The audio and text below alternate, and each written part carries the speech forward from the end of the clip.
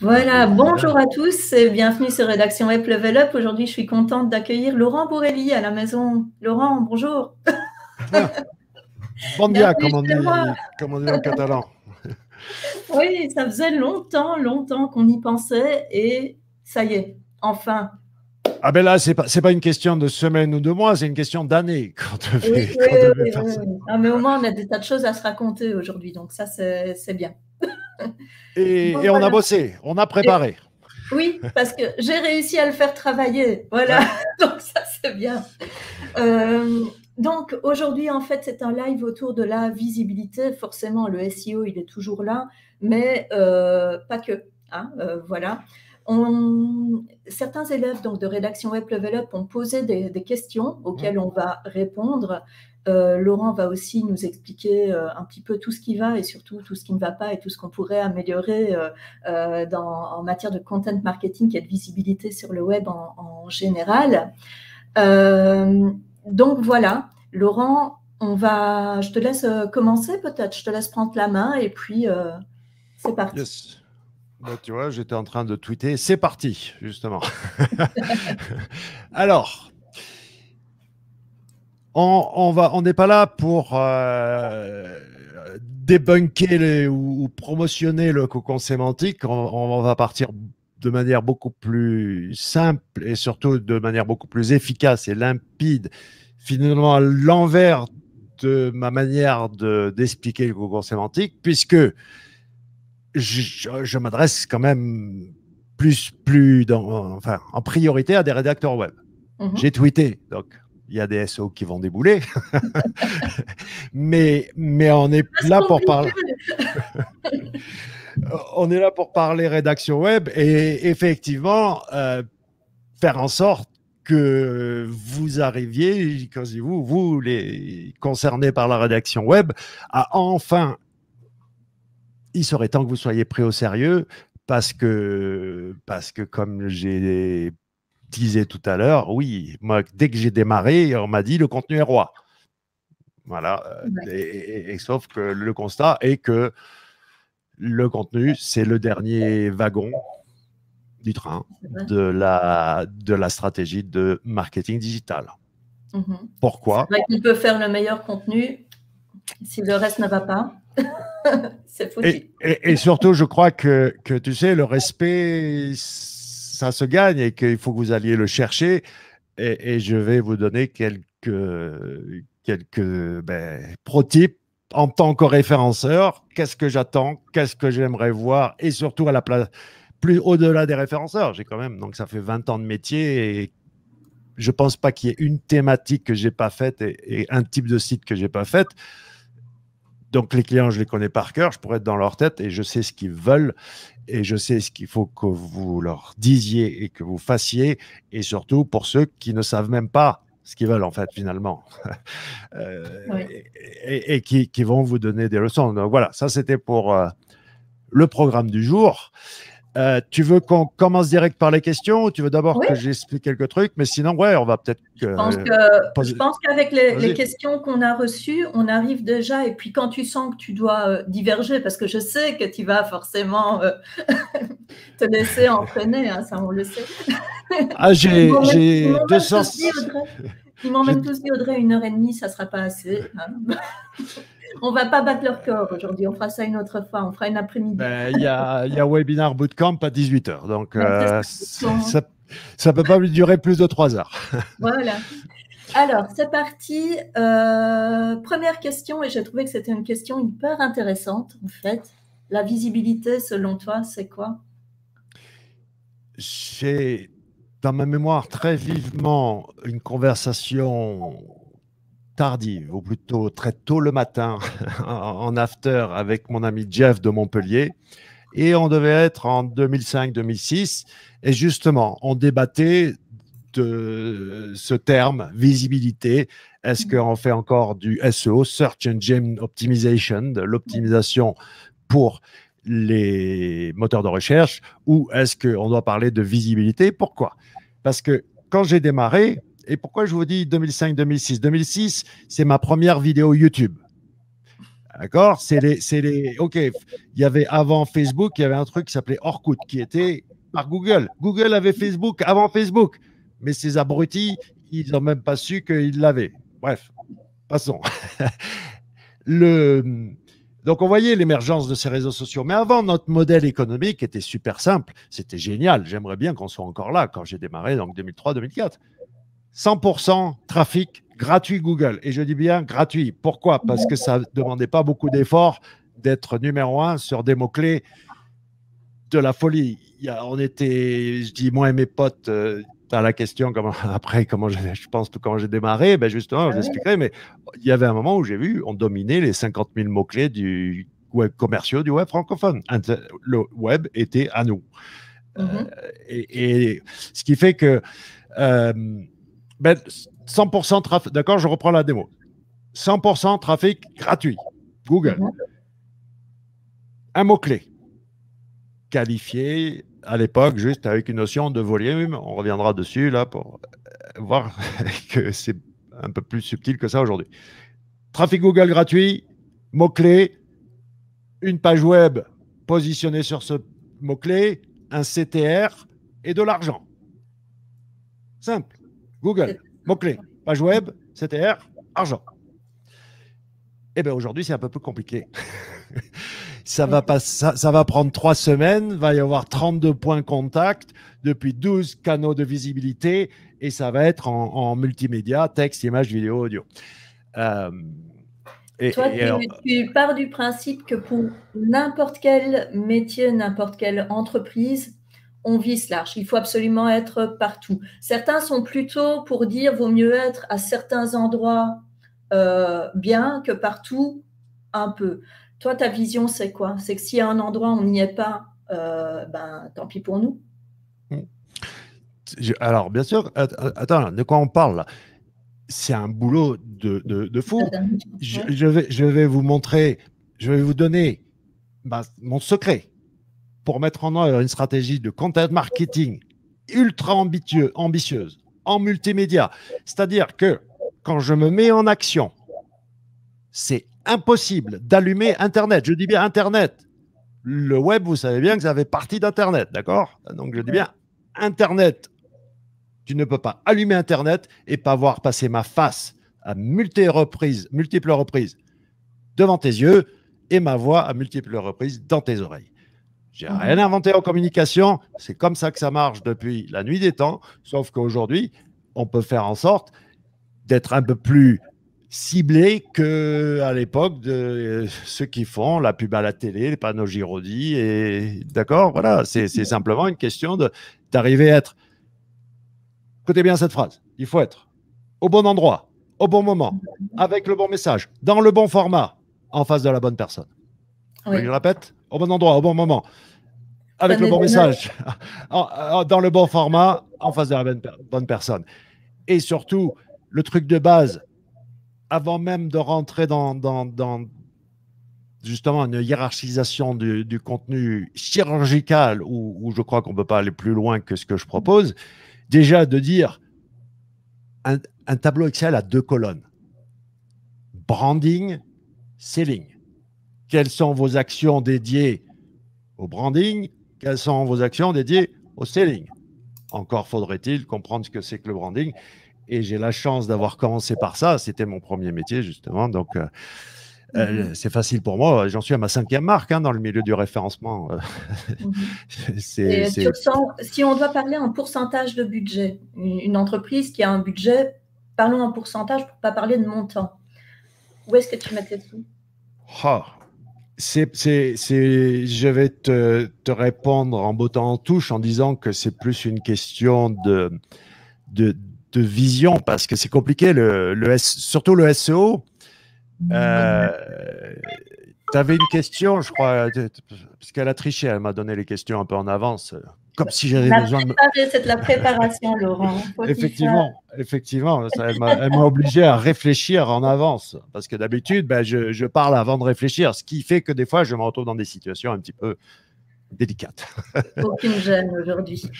mais, mais le, quand tu tweets avant de réfléchir, ça peut te. Bref. Le, Le SEA, mhm. c'est tu, tu, loues un emplacement. C'est comme de ta location de ton, de ton, de ton, de ton appart. ok? Quand tu arrêtes de payer ton loyer, tu peux plus habiter à cet endroit-là. C'est pareil pour Google Ads. Euh, le SEO, le référencement organique, tu payes pour tenter de prouver que tu es légitime. Oui, c'est vraiment ça. C'est déjà un peu plus. Mhm. Alors, maintenant, pour répondre, tiens, je vais répondre déjà avant que tu me poses la question est-ce que le, SEO est mort? Ou il y avait un truc dans ce style. Oui. Euh, le search avec un S majuscule ou ce que vous appelez la visibilité. Mais moi, mon taf, c'est la recherche d'informations, d'accord? Avec un R majuscule. Peu mhm. importe où elle se trouve. Peu importe, d'accord? Parce que, par exemple, moi, quand je demande, euh, je demande un outil, tiens, j'ai un, besoin pour un outil d'emailing. Tu crois que je vais demander à Google? Tu crois vraiment que je vais taper euh, comparatif outillé hey, C'est mes potes qui font, et, ou moi, qui font les contenus qui remontent sur ce genre de requête. Donc, je, je n'y prête absolument aucun, justement, en rapport avec euh, le problème de la pauvreté d'ambition du contenu. On en parlera plus tard. Mais je vais demander à Twitter. C'est sur Twitter que je vais demander. Euh, et, donc, ben alors si tu n'es pas là à faire de la veille sur euh, qui demande, qui pose des questions sur euh, les logiciels d'emailing sur Twitter, tu tu risques pas de passer devant moi. D'accord Devant mes yeux. Et, voilà, c'est. Moi, j'ai pas de j'ai pas d'émotion. Alors, mon secret, il est là. Par rapport à ta question, c'est que je dis pas que tu vas devenir influenceur sur ce réseau social. Je ne dis pas que tu vas avoir euh, 10 000 ou 1 million de, followers sur YouTube ou sur Twitter ou sur LinkedIn ou ce que tu veux. Ça, c'est certain que c'est un avantage décisif quand tu entres très tôt sur la plateforme et que tu vas prendre ton, ton petit truc à toi, d'accord? Toute ta boutique et, avec ton style. Et donc, ceux qui arrivent après, ben, ils vont devoir faire différent ou sinon, ça ne sera que du, copier-coller. Euh, et, bien sûr que ça, c'est, ça demande un peu de, de courage, entre guillemets, pas tant que ça. Mhm. Bon, bref, il faut, il faut lancer un pari, de dire, voilà, je, parie sur cette plateforme assez tôt, avant qu'elle ait fait ses preuves. Moi, j'attends mhm. Un an et demi, et c'est au bout d'un an et demi, un an, un an et demi, que des gens comme moi, qui s'appellent les marketeurs, arrivent, et qu'un réseau social, pour parler poliment, devient différent. OK? Mais c'est pas que tout le monde l'utilise pour, euh, pour, vendre, en fait. Pour vendre ou, encore une fois, branding, selling, euh, les, deux choses doivent être bien différenciées en amont pour pas croire que ben, si tu fais du, du, Instagram, est-ce que c'est du selling ou du branding? Ça dépend. OK? Mhm. Ça dépend. Il y a des, j'ai un client bijoutier et en plus bijoutier est très très cher, boucle d'oreille genre à 75 000 dollars. Il vend très très bien via Instagram. Chirurgie esthétique, j'ai un chirurgien esthétique rien qu'avec les photos avant après sur Instagram, il n'a pas besoin de site web. Il se fait pas, il se fait pas bannir. il peut montrer. Euh... Tu peux pas montrer de tétons. Il montre que les rhinoplasties. tu peux pas montrer. Mais c'est, mais c'est pas grave. Euh, là, je connais très bien. J'ai eu de multiples clients dans cette thématique. Euh, tu, tu peux juste montrer du, du, du botox et, bah mesdames, de toute façon, vous commencez par le botox et ensuite tout le reste y passe. C'est, euh, il, y a, il y a une proximité sémantique entre mhm. tous les. Alors, tous les... tant qu'on y est, TikTok, tu vas eh ben, ou tu vas pas? Eh bien, justement, tiens, c'est l'exemple parfait parce que comment je sais qu'il faut aller sur une app. Comment je fais de la veille? C'est super simple. J'ouvre, il y, a des, y a des sites qui vont traquer le top des téléchargements des apps sur l'App Store et sur Google Play. Il y a des gens qui vont traquer même, je peux te dire que TikTok est numéro un en termes, non, attends, deuxième en termes de dépenses. C'est-à-dire ah que c'est une des plateformes où les gens dépensent le plus d'argent. Et mes euh, dépenses dans quoi? Tu le sais, ça? Eh ben, après, tu, il faut aller sur TikTok. Il y, a, la, régie publicitaire de TikTok qui existe, d'accord? Euh, mhm. Et puis, attends, le premier, c'est, c'est, attends, c'est un truc tellement évident euh, que tu dépenses une fortune que j'ai oublié. Euh, mais je crois que c'est même devant Disney ou des choses comme ça. Bon, bref, euh, le, ceux qui pensent que TikTok, c'est encore pour les jeunes paraplégiques, d'accord, qui font des danses de, de paraplégiques, il, y a un, il y a un milliard d'utilisateurs actifs. Un milliard d'utilisateurs actifs. Euh, c'est comme quand je prêche depuis, je vous ai dit, première vidéo sur YouTube 2006. Mhm. Euh, comment ça se fait que, que, personne ne fait de vidéos encore aujourd'hui? Moi, je m'en fous, hein, je fais des vidéos depuis, depuis une éternité. Comment ça se fait Je, m'aperçois que oui, il y a beaucoup de monde qui me parle des vidéos. Et pourtant, j'en ai pas énormément, mais beaucoup de monde me parle des vidéos. Donc là, je te rejoins Là, qu'est-ce que tu fais? C'est de la vidéo. Là, en plus, c'est du live stream. C'est la grosse tendance. La techno qu'on a, que tu utilises aujourd'hui n'était pas disponible il y a deux ans. Mhm. OK?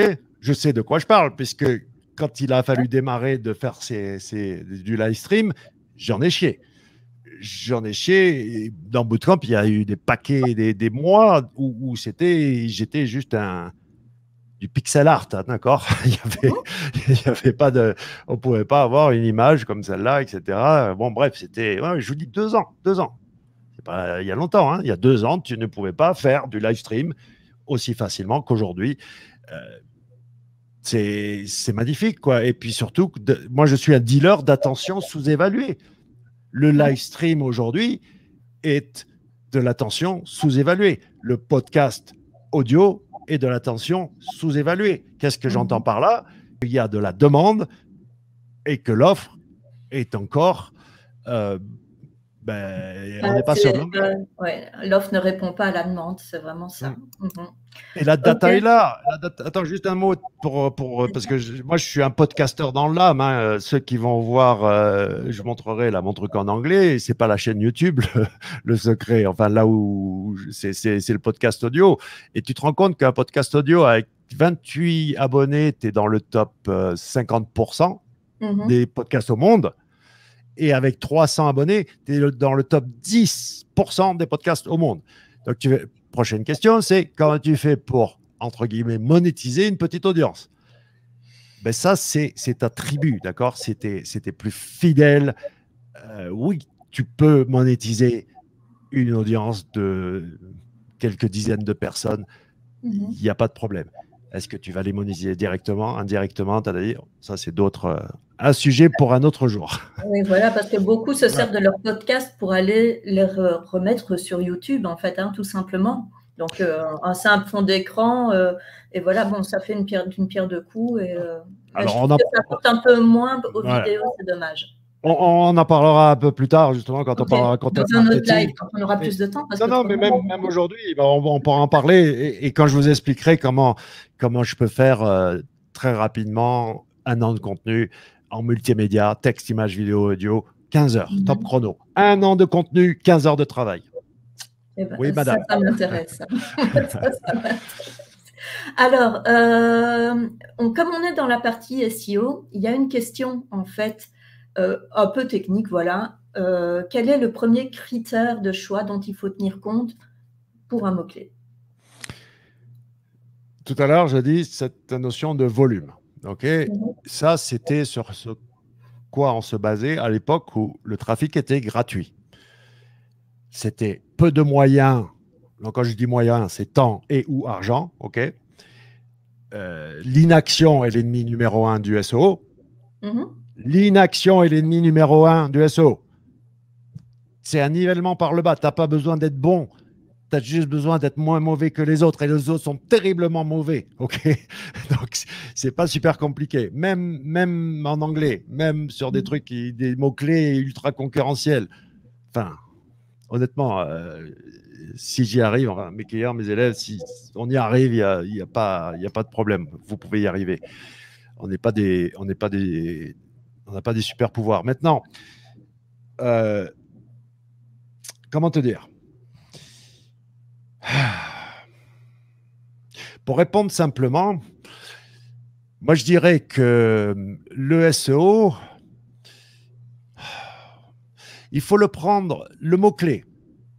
Aujourd'hui, c'est très simple. vous le savez déjà qu'on on lâche le mot de intention. OK mm. et, le problème qu'il y a est, un peu plus compliqué que, ma, que la réponse de dire ouais, il faut que tu colles à l'intention. C'est que l'autre variable est que le père Google, il n'a pas encore tout trié, il n'a pas encore tout organisé, il n'a pas encore fait le boulot. C'est gros le web, d'accord? C'est énorme. Et, et le challenge qu'il est en train d'essayer de relever est dantesque. Euh, vous n'avez pas idée de la taille du web. Il faut parler avec des gens qui font des moteurs de recherche, qui crawlent le web pour, pour avoir euh, une idée que enfin, c'est, c'est, ça, c'est gigantesque et ça croît à une vitesse hallucinante. D'accord? Google, Google ne peut pas suivre. Ça aussi, euh, quand, euh, quand la personne avait demandé, donc est-ce que ça vaut toujours la peine d'investir dans une stratégie SEO euh, L'extension en fait de, sa question, c'était voilà, il y a de moins en moins de place en première page. C'est vrai qu'il y a souvent sur les requêtes cruciales beaucoup de publicité, donc on n'a même plus les 10 positions en première page. Et il y a tellement, tellement de, de sites maintenant que, voilà. Est-ce que vraiment c'était ça sa question? Euh, Est-ce qu'on est est-ce qu'on est censé vraiment aller vers de la très très longue traîne maintenant? Quand on n'a pas une une, une force d'attaque, une puissance d'attaque euh, exceptionnelle quoi, comme la concurrence du moins. J'adore quand Audrey me dit et puis. Vas-y, dis-moi et puis. Et puis. Oui. Alors, de, non, pour répondre, il n'y a pas une réponse simple à, cette histoire de, de, mots-clés aujourd'hui. Pourquoi? Parce que il faut arriver à conjuguer au futur ce que veut Google. Mm-hmm. Et là, on parle de la compétence SEO la plus high level, qui s'appelle respirer l'odeur du mot-clé, qui s'appelle savoir donner à Google ce qu'il veut composer au futur. Mhm. Je peux pas. On, je vous montrerai des outils qui vous aident à faire ça. Euh, il y en a pas beaucoup. Euh, il y en a en gros trois et dans le monde, mais qui, qui vont vers, vers ça, vers, vers, dire on sait ce que on arrive à, à d'accord à conjuguer au futur ce qui veut Google, mais de manière beaucoup très simple et surtout pour ceux qui font du cocon sémantique en mode euh, je crois que j'ai compris, mais j'ai pas compris. Je, vais citer Bill Swalski, euh, mon ami Bill Swalski, euh, si vous connaissez pas SO by de C, ben, une des légendes du, dans le monde du référencement, qui dit, j'adore son exemple parce qu'il me dit, quand je veux commander une pizza à midi, j'ai pas envie de lire l'histoire de la pizza.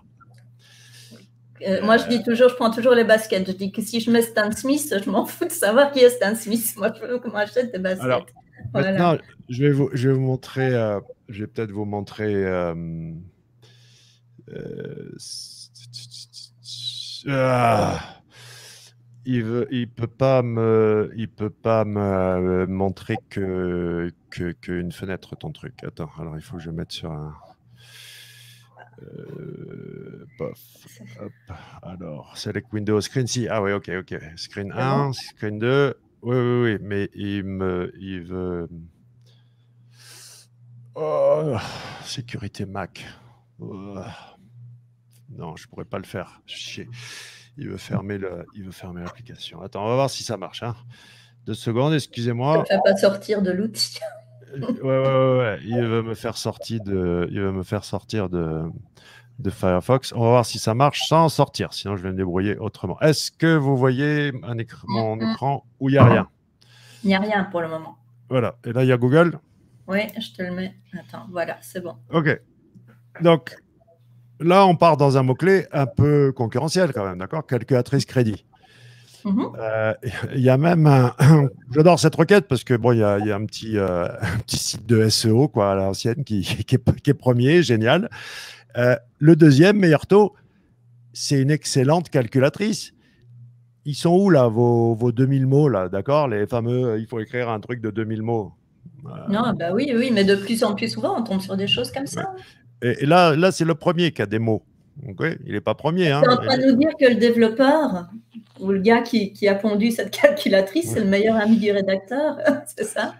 C'est c'est l'idée et que en fait le problème, c'est encore une fois que là, il arrive à avoir des réponses à l'intention. Il est arrivé à qualifier, mais il s'est trompé d'ailleurs. Tu vois, bon, ça serait mieux. D'ailleurs, c'était meilleur taux devant celui-là. Celui-là est passé devant aujourd'hui. Et puis bon, là, c'est un Google que j'interroge. Toi, tu tapes la requête, ça pourrait être différent. Mais, mais mhm. ce qui se passe, c'est clairement que les calculatrices crédit euh, euh, sont là et il n'y a pas plus que l'histoire du crédit. Parce que c'est en fait ça, les mecs, je suis aujourd'hui en, guerre contre ce que j'appelle le Google Text. Cette stratégie de sous tes fiches produits, sous tes racines de catégorie, sous ta, sous ta calculatrice, mettre un texte sans aucune espèce d'intérêt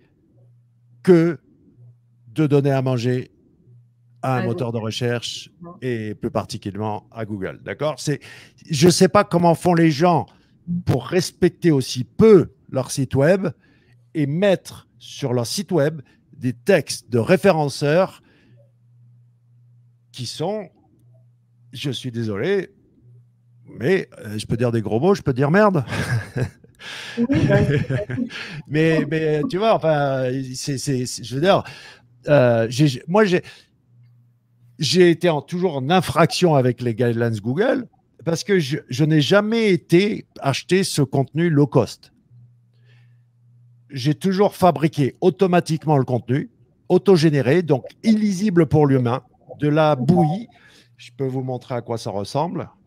Je vais vous montrer à quoi ça ressemble si on va pêcher les trucs. De la bouillie illisible.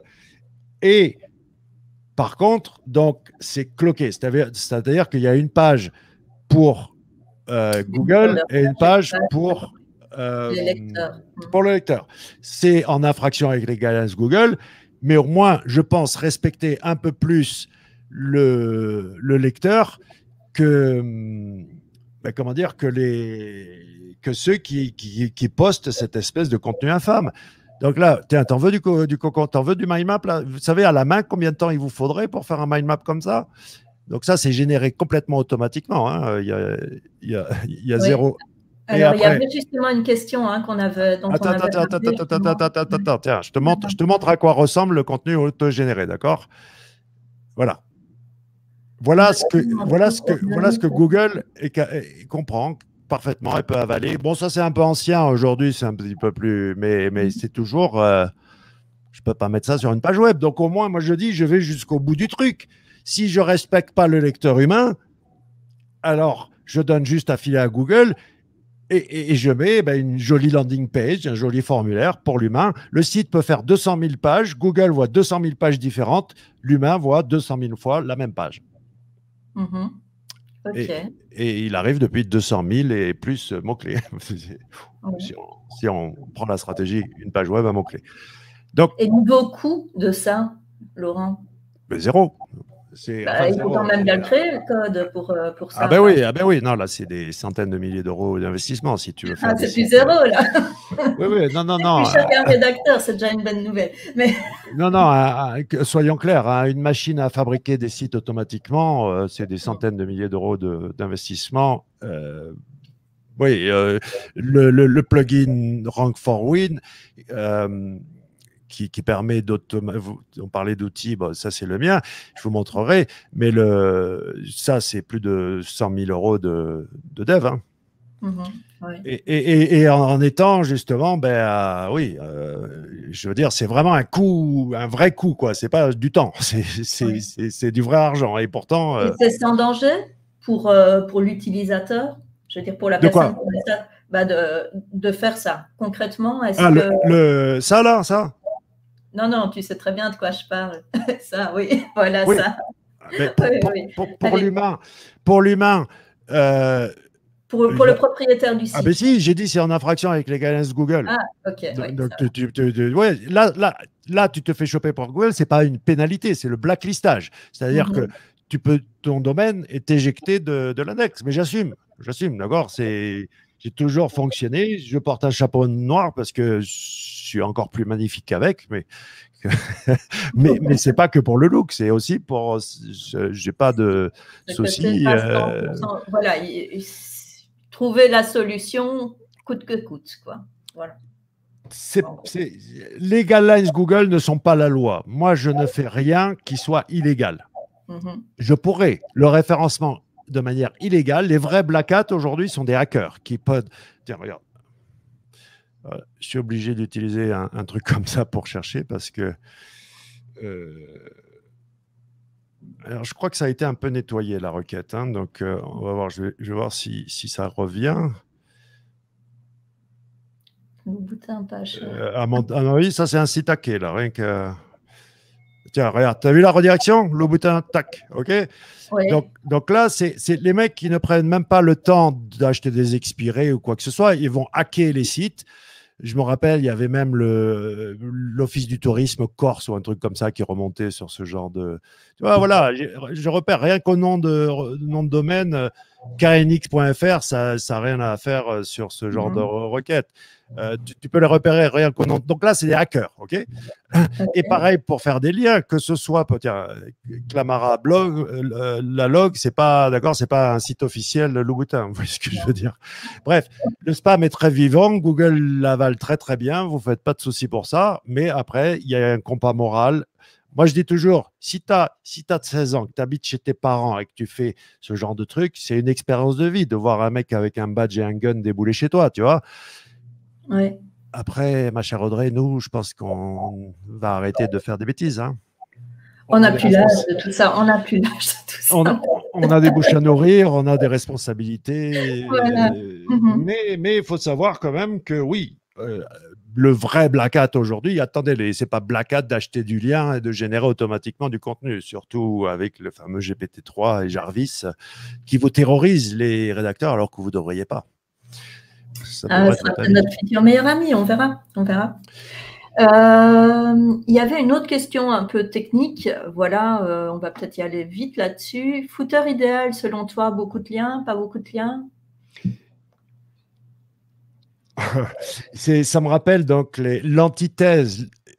Pour, pour, faire en sorte que, que, ma stratégie, que le cocon sémantique devienne la stratégie numéro une en France, que le cocon sémantique soit le terme le plus recherché par les rédacteurs web, l'expertise la plus recherchée par les rédacteurs web, tu dois avoir ce qu'on appelle tes meilleurs ennemis.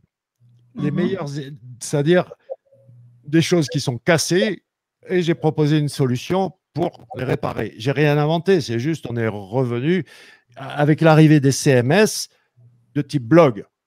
Mm-hmm.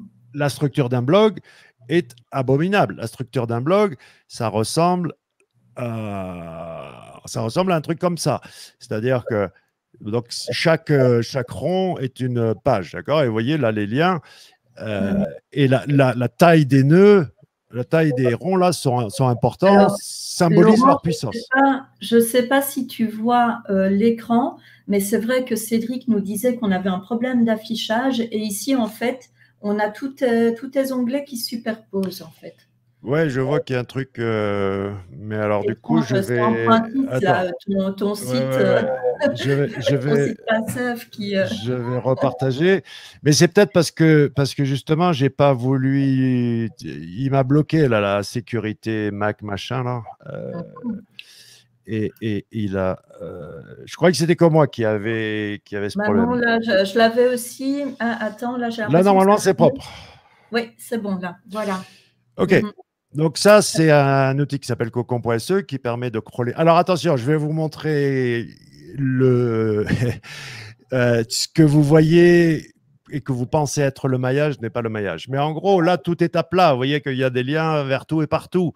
Euh. Ça, c'est ça, c'est euh, ça, c'est un cocon. Donc, je voulais vous le montrer après. Attendez, je vous montrer. Je vous montrer. Voilà, une structure de méga menu, une structure de, de site commerce avec Mhm. les méga menus qui fait cet effet où tout est. Là, vous le voyez sous forme de roue, mais en fait, il faut imaginer que tout est à plat. Tous les, toutes les pages sont reliées ou alors avec ce fameux système de il faut que toutes les pages soient accessibles depuis la trois clics depuis la home. C'est complètement débile ce truc-là.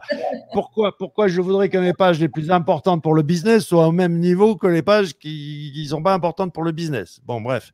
Si tu fais du cocon sémantique, tu fais pas ce truc de, trois clics depuis home. Je vous montrerai. Et ensuite, je peux pas vous montrer ce que je veux vous montrer là-dessus parce que je pèterai l'outil tellement c'est le bordel du point de vue du maillage. Donc, je vais vous montrer la grosse supercherie de ces visualisations, ce que personne n'a compris. Mhm. Là, vous pensez que c'est le maillage. Non, ça, c'est une interprétation. Il y a des gros algos derrière, OK? Diffusion du PageRank, proximité sémantique, euh, TF-IDF, cosine de Salton, euh, chaîne de Markov, Ngram, etc., etc. On, on- c'est pas de la, c'est pas de la potion magique de druide du référencement. Regardez Mhm. bien ce qui va se passer. Ça, vous croyez que c'est le maillage? Non, le voilà le maillage. Les voilà liens, d'accord? Oui, on a encore ce problème d'affichage. Ah, fait chier. Ouais, Euh. Dès, dès que je change un onglet, il ne veut pas changer d'onglet. Alors, Mhm. je vous repartage. Tu travailles sur Mac, c'est ça? C'est là, ça, là, c'est bon. Euh, C'est Là, bon, je peux, bon. je peux y retourner? Allez, voilà, donc, vous voyez, avec, est-ce que ça va marcher si j'enlève Hop. Touche plus. Non. Ah, mais t'as vu, dès que je fais une Oui. action, bon, vous voyez le petit quart là, en fait, qui, qui, qui, où, où vous voyez avec et sans les liens, d'accord? Mhm. Donc, vous voyez que c'est quand même tout un foutoir. Et maintenant, le, le vrai secret, finalement, euh, donc je re-arrête pour recommencer. Si on veut voir quelque chose qui est, qui est euh, top du point de vue, euh, du point de vue du maillage, eh ben, c'est d'arriver à faire en sorte que ton, ton mind map, dans ta, ta préparation du, du, de la stratégie de contenu, va être complètement en phase avec ton maillage. Là, tu vois, j'ai affiché avec les liens. Si j'enlève euh, les liens, ça va faire. un- Ah, tu l'as pas mis là? Vas-y, mets-le. Attends, je te le mets. Excuse-moi. Donc là, vous voyez, j'enlève les liens. Bon, il y en a un petit peu qui restent là au fond, Mhm. Mais on voit quasiment aucune différence avec ou sans les liens. Non. Voilà. Tu vois, le truc, c'est que, OK, on arrive à se démerder avec un gros foutoir du lien dans tous les sens. Maintenant, si tu veux vraiment gagner, si tu veux vraiment faire une structure sur puissance, après, vous pouvez toujours essayer d'aller voir les URL. Là, je vous ai pris des trucs. euh, Il y a prescription, les sites existent plus. C'était il, y a- il y a des- il y a plus de 10 ans. Donc, euh, cherchez pas à reverse. Et me demandez pas d'exemple et cherchez pas à reverse générer un cocon sémantique, surtout s'il est passé par mois, parce qu'il y a, il y a du clocking. Alors là, white hat, non pénalisable. C'est-à-dire que le clocking, euh, c'est pénalisable dès que tu touches au contenu, dès que tu commences à tromper le moteur avec notamment ce contenu autogénéré. C'est pas pénalisable, au contraire, c'est une bonne pratique si tu ne touches qu'à la structure. Tu peux tout à fait présenter un maillage différent. D'ailleurs, la version mobile du site a un maillage, une structure différente du, du site desktop, d'accord? Et- et tu peux utiliser euh, entre Luxembourg et Andorre, l'affidage- l'affichage, c'est pas le paradis.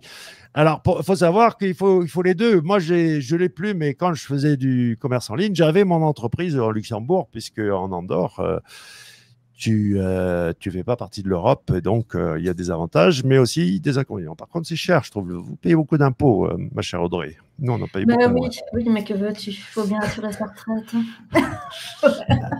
Et eh ben, si t'es SO, tu te la fabriques, ta retraite.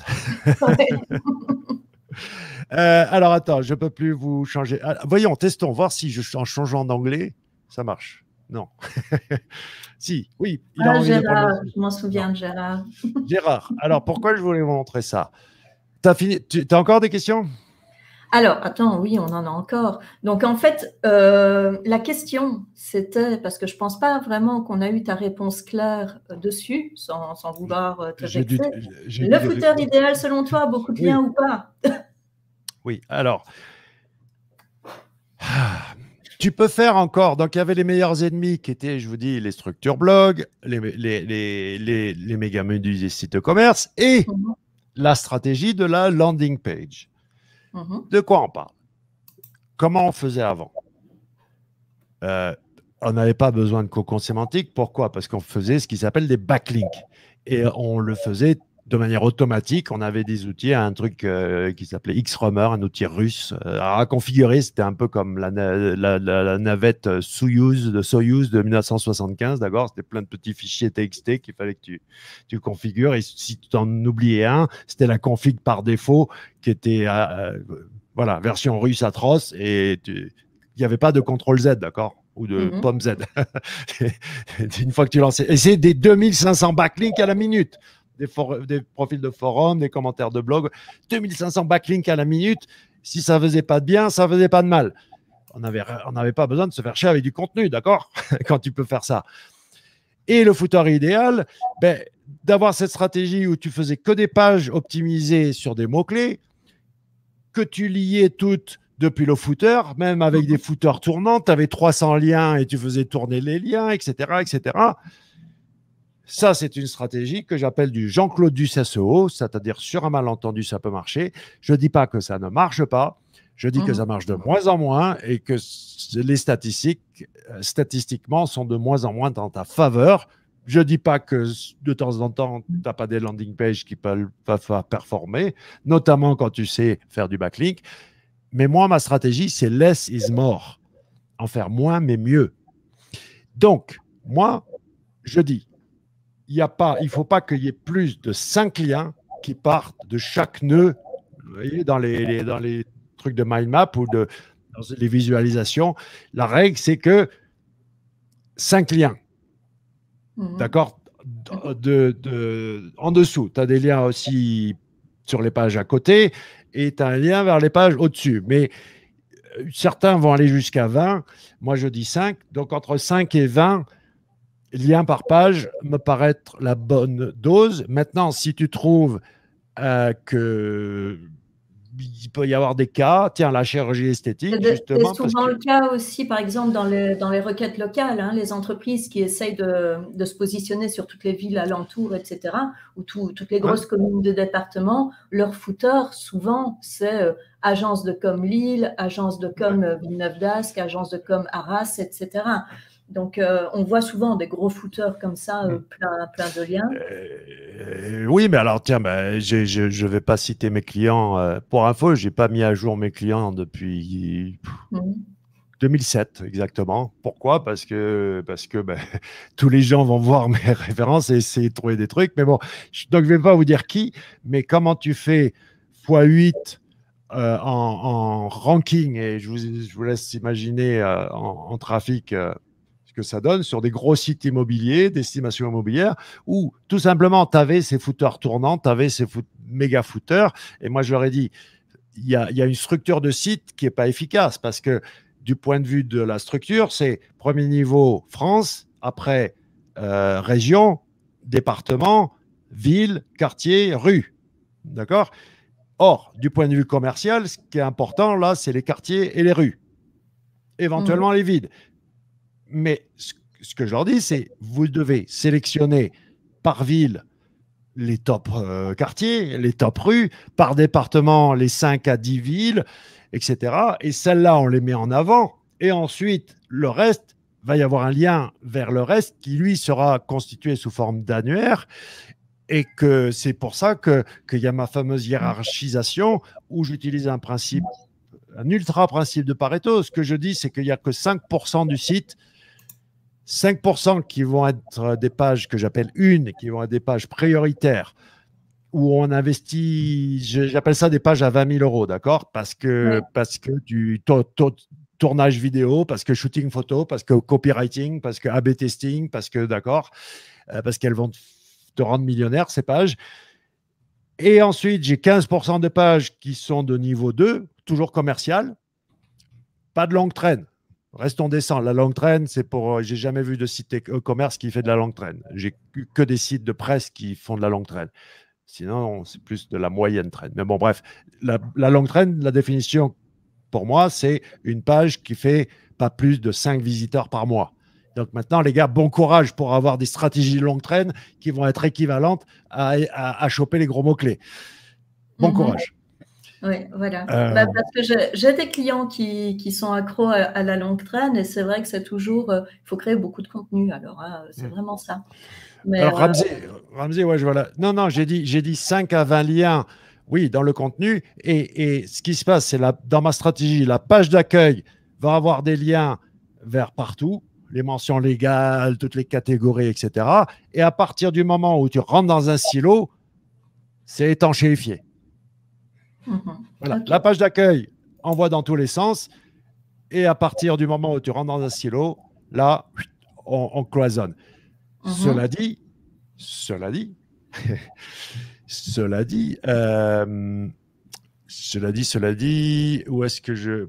Moi, je ne sais pas faire avec tous ces onglets. Euh, je, tu vois, j'ai voulu. Tu m'as fait bosser, j'en ai préparé 25 000 onglets et maintenant, je ne sais plus retrouver où sont les trucs. Je suis désolée. Euh, attends, alors attends, attends. attends. Attends, attends, attends, euh, je voulais vous montrer un morceau de, un morceau de, de mind map. Euh... Ah, j'ai pas fait un bon screenshot. il faut que je refasse ce screenshot. Euh, alors oui, ce que, je voulais vous dire, c'est qu'en fait, ce, truc de d'étanchéité des silos. Tiens, on va aller sur, on va aller sur une image pendant que je cherche, parce que comme ça, ça va on, va, on, va, dire pourquoi le cocon sémantique, euh, c'est du pipeau. Ou ce que pensent les gens du être le cocon sémantique, c'est pas ça. En fait, tout le monde a tort, quoi. Tout le monde a tort sur le truc. Euh, Arbo, voilà, hop, boum, boum, boum. Tout le monde a tort, ou c'est plutôt tout le monde a voulu comprendre ce qu'ils ont voulu comprendre. Et pas, ne sont pas allés jusqu'au bout du truc. Donc voilà, en gros, ce que les gens pensent être le cocon sémantique Ce sont les. Euh, oui, c'est le genre de, de schéma qu'on voit le plus souvent dans tous les articles, etc. C'est vrai. Voilà. Donc, donc c'est là où vous voyez qu'il y a, il y, a, il y a des liens il y a un lien vers la, et, la couleur symbolise la puissance des liens parce que j'utilise même différents euh, emplacements du code source pour avoir euh, différentes puissances des liens. Bon là, c'est honnêtement, c'est pas nécessaire d'aller aussi loin. Euh, par contre, vous voyez bien que donc en théorie, ce que je conseille, moi, c'est un lien qui remonte vers la page au-dessus. Il y a donc au maximum cinq liens vers des pages en dessous et ensuite, il y a les liens vers les pages sœurs de même niveau. Donc, a priori, oui, ça représente une vingtaine de liens par page, mais il n'y a aucun problème si vous avez, si vous pouvez me dire, OK, là, ça a du sens, c'est cohérent, je ne vois pas comment subdiviser, je ne vois pas comment euh, euh, fusionner ou je ne vois pas comment éliminer ces, ces, différentes euh, donc, branches, ces différents nœuds. Eh bien, alors très bien, tu en as 87 euh, pages au même niveau, et puis, et puis ça va comme ça. Sauf que si tu peux subdiviser, si tu peux fusionner, si tu peux éliminer, c'est quand même mieux. Il faut aller en profondeur et pas. Il faut éviter de travailler à plat. Nous, on travaille en profondeur. J'ai testé jusqu'à 257 niveaux de profondeur. Googlebot, il y va comme dans du beurre, quoi.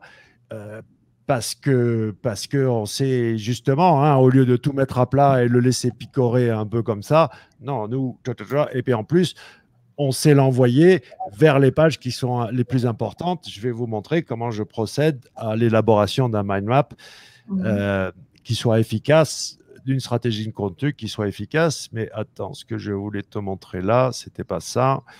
Il faut que je refasse. Euh, tu m'as tellement, tu m'as tellement fait bosser tellement vite que j'en ai même loupé de, de faire mon. Prochaine fois, on fera un cocon et on fera des mini sujets pour pas que trop ok? Non, non, non, c'est pas ça, c'est pas ça. T'es arrivé, es arrivé à me faire, euh, arrivé à me faire louper mon, mon screenshotting. Euh, screenshotting. Alors, euh, alors, il faut que je repartage. Donc, du coup, non, je vais screenshotter. Je ne peux pas vous montrer l'intégralité quand je veux respecter le, la confidentialité. On a, Ramsey là qui nous dit que lui, il lit ses pages en fonction de la proximité sémantique et pas forcément d'une arborescence prédéfinie. Bonne méthode ou pas? Ben, ce que je dis, c'est que là, ce, système de, que, vous voyez à l'écran, ça, c'est mhm. juste travailler dans les règles de l'art, d'accord? C'est juste savoir bien faire un site web.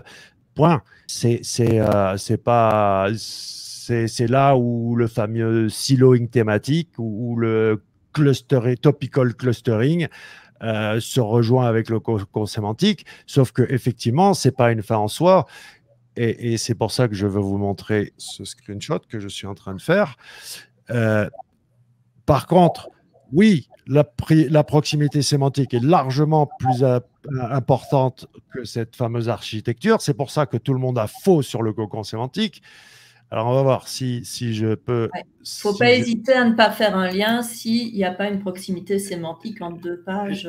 Ben déjà, regarde, avec ce schéma, si entre la page enfant A et le petit enfant AA, le calcul de, la proximité. Alors, attention, bon, après, je pinaille, mais la proximité sémantique, ce n'est pas exactement la même chose que glissement sémantique. Est-ce que mhm. les gens disent être le glissement sémantique, c'est la proximité, mais bon, peu importe. Euh, euh, si, le, si, le, si ça si ça matche pas bien entre enfant A et, petit enfant AA, tu peux toujours avoir tout le siloing que tu veux, ça ne va pas aider. quoi. Mhm.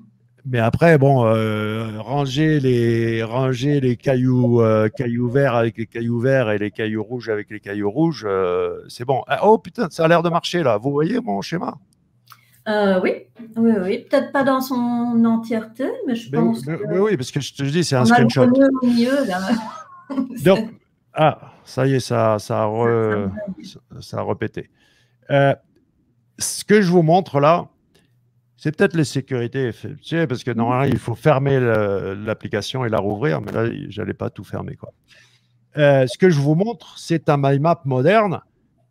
Donc, on se repose sur un squelette, sur une infrastructure qui est saine, mhm. qui est justement cette structure un peu en arbre généalogique euh, qui, provient, oui, clairement, de ces structures de, base ancestrale avant que les CMS arrivent et foutent tout en l'air. C'est comme ça qu'on faisait des sites web euh, à la main. ok avec Notepad ou Dreamweaver. sinon, tu ne pouvais pas avoir une structure saine et, arriver à bien référencer dans le sens indexation. De, Sauf que vous voyez, là, il y a des liens dans tous les sens entre les silos. Ouais. Sauf que ces liens sont intelligents. Ils ne sont, ils sont pas faits euh, n'importe comment. Euh, qui est en relation avec quoi et pourquoi est, est la clé. Maintenant, ce que je dirais, c'est que euh, tu peux te passer. En fait, là, le prototype, là où on monte déjà, numéro un, par rapport au schéma d'avant, si tu veux faire du cocon sémantique avancé, tu peux tout à fait garder que les liens rouges si vous n'avez pas prêté attention de quels étaient les liens verts, les, liens noirs et les liens rouges, tant pis pour vous. Mais en gros, l'idée, c'est que tu peux faire que des liens qui remontent. Comment tu vas introduire du jus Alors, ben, tu fais, il faut savoir faire des backlinks et t'introduis du jus depuis le cul des silos. Oula, ça devient un peu porno ce que je raconte. Euh, dans, le, dans le, eh, il paraît que tout dans la vie se rapporte au sexe. Il n'y a que, que, le sexe qui est une question de pouvoir. Je ne sais plus qui a dit ça. Mais il paraît que dans dix ans, on sera tous abstinents. Donc euh, voilà, aussi. Mais non, André, il y a, y a, les. Y a les il y a les, les sex bots, c'est-à-dire que c'est déjà prêt. Hein. Tu, tu, tu, vas avoir un serviteur qui va faire le ménage, qui va faire ta vaisselle, qui va te masser, qui va te, te faire tout ce que tu veux. Euh, un robot, d'accord, et puis bien entendu qu'il va être très performant au lit. Hein, euh, alors les premiers qui, qui, ont vu cette techno disaient, les mecs, ils rigolaient, ils disaient, ah, ah on n'ira plus draguer en boîte de nuit. Je disais, mais c'est la revanche de la femme. Et chérie, quand est-ce que tu repars en voyage? Voilà comment ça va se passer. Euh, alors, je ne sais, sais, plus où j'en étais du coup. Donc oui, ah ouais. le prototype, le prototype, le prototype pour euh, Si, écoutez bien, parce que ça c'est super important et c'est 20 ans d'expérience, non, allez, 15 ans d'expérience de ce truc-là à votre service et des, des centaines de sites. Euh, plus tu as un signal faible et plus tu dois étanchéifier, j'expliquerai hein, ce que c'est un signal faible et un signal fort. Plus as un signal faible et plus l'étanchéité des silos peut faire la différence avec tes concurrents, et plus tu envoies un signal fort, et plus tu peux te permettre de fracasser les silos. Donc maintenant, qu'est-ce que c'est qu'un signal faible ou un signal fort? C'est un signal différenciant. C'est par rapport justement à ce que veut Google futur. Euh, c'est par rapport à est-ce que c'est pas ça n'a rien à voir avec la longueur du contenu, d'accord? C'est, plutôt par rapport à est-ce que tu es vraiment différent de tous ceux qui sont devant toi? Euh, et dans le sens où qu'est-ce que veut Google être capable justement de, de, cette compétence qui est la compétence la plus high level dans le SEO et, de pouvoir euh, ben, donner à Google, oui, vraiment le, le signal qu'il veut et je vais vous montrer. Alors, il faut que je stop sharing, il faut que je recherche. Je vais limiter quand même les démos, je vais en faire que deux. Mm-hmm. je vais en faire que deux plutôt que que, Alors attends, parce que je crois que je peux même pas scroller, donc il faut que je prépare. Euh, ok, voilà. Tac, tac. Qu'est-ce que veut Google? Qu'est-ce que veut Google? Euh, Futur. Qu'est-ce que a Google? Donc, vas-y, tu peux partager. Je ne sais pas pour vous, mais moi, pour ça, ça ressemble quand même un peu à un résultat de recherche version 2010. Le seul qui a du contenu informatif, là, c'est Samsung. Et c'est Samsung. D'accord? Il, a quand même la, il, a il a la patate, le site. Donc, le mhm. contenu informatif a un peu du mal à se faire de la place, là. Bah et ça, ça, ça, ça, gonfle Google, hein, d'avoir tous les sites qui sont pareils. Une seule intention. Il n'aime pas ça. Sauf que ces sites-là, ben, ils, le jouent, enfin, ils ont, c'est encore une fois, là, euh, de manière euh, euh, SO 2010, du lien, du lien, du lien, du lien, encore du lien, du, plus de page rank, plus de, plus de puissance de feu marketing, plus de. Donc, si on a un site un peu faible, un client qui, qui, est arrivé après tout le monde, etc., tu nous conseilles d'essayer de rentrer par la petite porte? D'essayer de créer quelque chose de différent pour éventuellement euh, se faire remarquer autrement On sait ce que veut Google. Mm-hmm. Bon, alors attends, là ça a répété. On va alors j'en ai plein d'exemples de ce que veut Google, mais là on va limiter à, Jeux Olympiques euh, parce que c'est en cours. C'est le sapin de Noël. Vous savez que 65% des recherches sont à zéro clic. Zéro mhm. clic. OK? Donc maintenant, ce n'est plus une question de la première page, c'est une question de est-ce que tu es premier ou pas? Est-ce que, est que, est que tu apparais dans les news? Est-ce que tu apparais dans le knowledge graph? Est-ce que tu apparais dans les photos? Est-ce que tu apparais dans les vidéos? Est-ce que tu apparais dans les images? Est-ce que tu apparais dans le social? Et, Est-ce que tu et en plus euh, donc on est au-delà de juste faire du texte hébergé sur des pages web. On est au-delà de la notion du site internet. On n'a même pas besoin de site internet aujourd'hui pour, pour faire du business. Mm-hmm. Ah, ça a redécalé. Il euh, faut, faut, même pas qu'il m'interdit de scroller même dans le truc. J'accuse ton truc. Je, je, paye tous les mois pour cette chose. Je, sais, je sais, je ne veux pas le nommer. Non, c'est parce que moi j'ai le concurrent en fait, qui est le bien sûr bien mieux.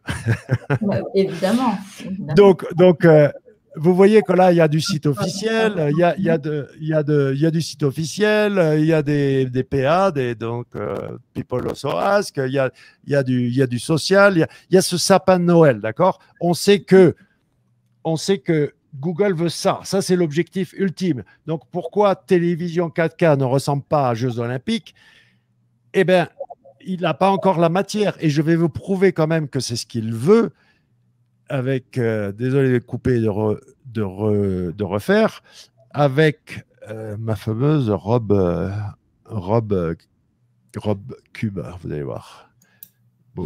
Donc, comment je sais qu'il veut déjà créer ce sapin de Noël? C'était l'autre jour, on regardait justement ben, les PAA, donc les autres questions qui disparaissaient de toutes les requêtes liées à la mode. Mm-hmm. Et on me donne l'exemple de RobTube, où effectivement, là, il n'y a pas de, PA, d'accord? Et moi, j'ai compris Rob Cube. Et ça n'existe pas, RobCube. Mm. Regardez quand même son envie de mettre. Quelque chose qui correspond à toi. Ben, enfin, ce fameux, ce que j'appelle le, le, sapin de Noël, d'accord? Le sapin de Noël, d'accord, sur quelque chose qui n'existe pas, déjà d'entrée, il part à vouloir faire ça. Je ne mhm. sais pas comment vous l'expliquer autrement. que, que, là où il y a un truc qui n'existe pas et que vous voyez bien que son intention, et il ne sait pas, hein, il ne comprend pas ce qu'il dit. Hein. Je, je, vous mhm. rappelle que Google transforme les mots en entités mathématiques séparées par des vecteurs. Donc, comment il sait que robe, cube va éventuellement être quelque chose Parce qu'il y a suffisamment de documents sur la toile, sur la toile qui ont robe et cube côte à côte. C'est-à-dire cosinus salton, et là, il y a une distance de zéro, c'est-à-dire que c'est côte à côte, mais si ta robe est 500 mots plus loin cube, bien sûr, ben regardez, euh, cocon sémantique n'existait pas avant. Et il y a su, à force d'avoir suffisamment de documents sur la toile qui ont cocon et sémantique côte à côte, ben, ça devient ce qu'on appelle une entité. Et après, le, le, sommet est ce qu'on appelle une, entité nommée. Donc, euh, c'est quand tu as ton knowledge graph, et ça, c'est une entité nommée, c'est en gros, elle a un code barre, quoi. Euh, et Jaguar, Jaguar l'animal, a un code barre différent de Jaguar la voiture. Mm-hmm. Ah, ça a répété là. Tiens, si on jouait au jeu du mot mystère au lieu de jouer à, Jaguar, on va jouer à Avocat. Ah non, tu as encore des questions. Vas-y, vas-y, bah balance. ils ont encore des, questions. Donc, euh, je voulais te parler de recherche vocale aussi. Comment on fait pour séduire Alexa et Siri, vraiment? Eh ben, Les mots, ça suffit ou il faut, faut leur donner plus que les mots? Il faut, il faut jouer au jeu du mot mystère, justement. Il faut jouer au jeu du mot mystère et, euh, c'est même, je vais vous montrer ce que je voulais chercher l'autre jour, tout à l'heure. Ouais. C'était le, c'est pas moi qui vous le dis, hein, c'est le boss de Google quoi. Euh, quand un mec comme ça il parle, on écoute. Mhm. Elles vont récupérer la position zéro, c'est ça S'il y en a une? Et donc, forcément, pour y arriver, il faut essayer de travailler ton fameux jeu du mot mystère? Alors, déjà, qu'est-ce que c'est que le jeu du mot mystère? C'est arriver avant que j'arrive. Alors, déjà, en plus, c'est Walid qui me l'avait trouvé ce truc quand je l'avais formé. Euh, pour ceux qui connaissent Walid. Mais l'idée, c'est quoi? C'est qu'avant que j'arrive, je suis désolé de passer pour euh, encore euh, euh, je ne suis pas un révolutionnaire, mais les faits sont là, historiquement parlant. Avant que j'arrive avec mon, mon cocon sémantique, l'optimisation on-page, c'était 20% de densité de mots-clés. D'accord mhm. Voilà la, technique. Je, suis désolé, mais jamais un moteur de recherche n'a utilisé la densité de mots-clés comme... Euh, non, le nombre d'occurrences, oui, mais la densité, donc c'est le nombre d'occurrences par rapport au volume. Ça n'a aucune espèce d'importance. C'est pas du tout comme ça. Ça, c'est donc Pragbakar Ragavan. Il a, il ah, je ne peux pas scroller, fait chier. Euh, donc, je vais essayer de vous mettre les deux trucs. Bon, non, voilà. Pragbakar Ragavan, c'est le nouveau boss chez Google depuis deux ans. Alors, il, il est boss chez, écoutez bien, Google Ads, Google Search, Google Assistant, Google Maps, les plus grosses propriétés Google, parce que Google, c'est pas Google, Google, c'est Alphabet Inc. Mhm. Google, le moteur n'est qu'une propre. Google est une régie publicitaire. Hein, si vous ne le saviez pas, c'est une régie publicitaire. Ce n'est pas un moteur de recherche. Euh, ce gars-là, je le connais parfaitement. J'ai lu tous ses, documents scientifiques. Il, a 30 ans d'expérience dans le search.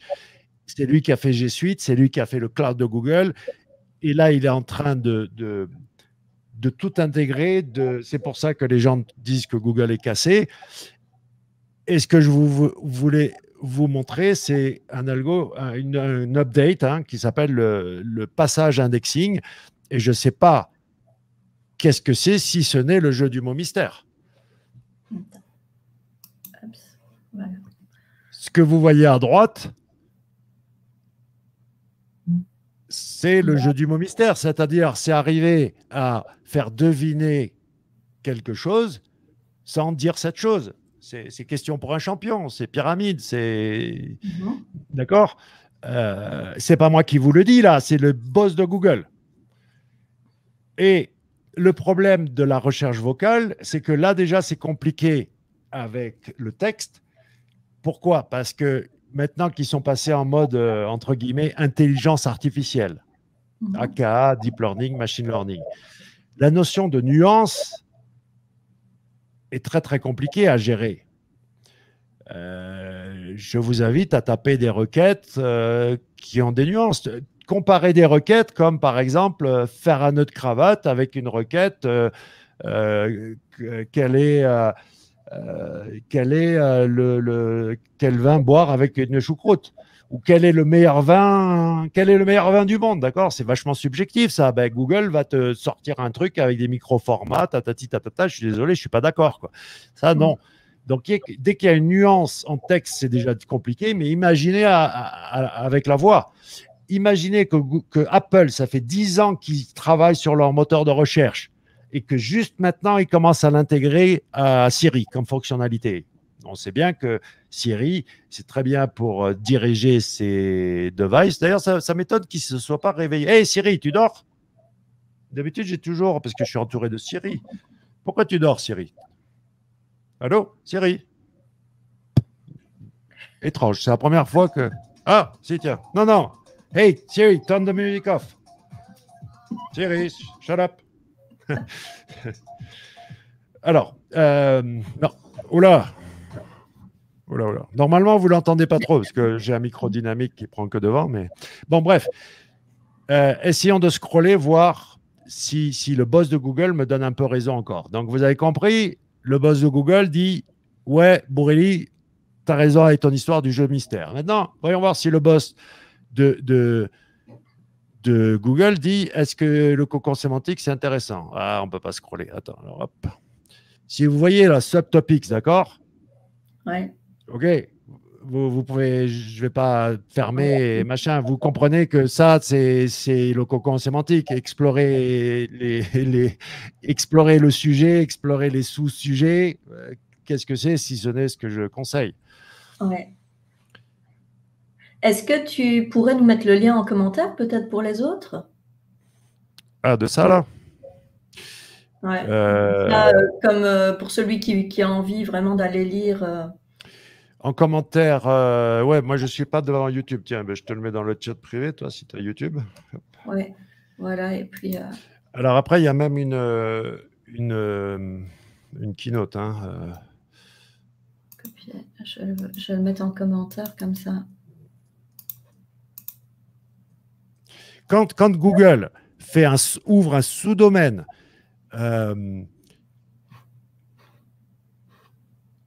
un sous-domaine avec une, une vidéo et que le boss de Google prenne la peine de, de faire une keynote, mm-hmm. euh, prêtez attention, d'accord? Euh, pareil, le, plus gros, là, tout le monde me parle du métaverse, j'en suis à mon troisième interview sur le métaverse, etc. Euh, personne n'est au courant de, qui est vraiment le véritable euh, grand acteur du métaverse. C'est Nvidia. Et il y, a une, keynote du, PDG de Nvidia qu'il faut voir une dizaine de fois euh, si, on veut, si on veut comprendre un peu. Prague. Ah putain, les noms indiens, ils, sont chiés. Attends, Prague. Bakar.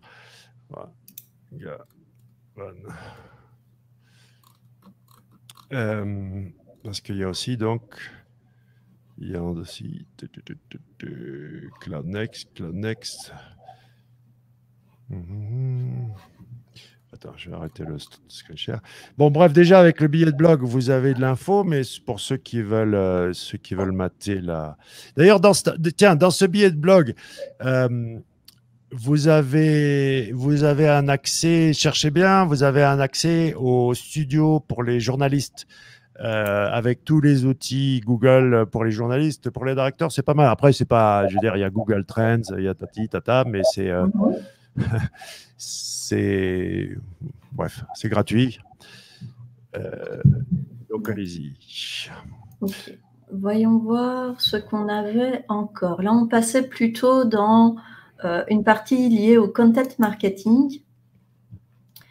et notamment, ça, ça, m'avait fait rire. Comment intégrer finement un CTA dans un site, dans un texte informatique? Euh, moi, j'aime bien parce que je, ma première réponse, c'est mais pourquoi finement hein? Surtout, euh, réfléchissez bien avant de nous contacter, réfléchissez bien avant de nous demander un devis, réfléchissez bien avant d'aller voir notre fiche produit. Donc, euh, voilà, enfin, Quel est ton avis là-dessus? Alors, euh,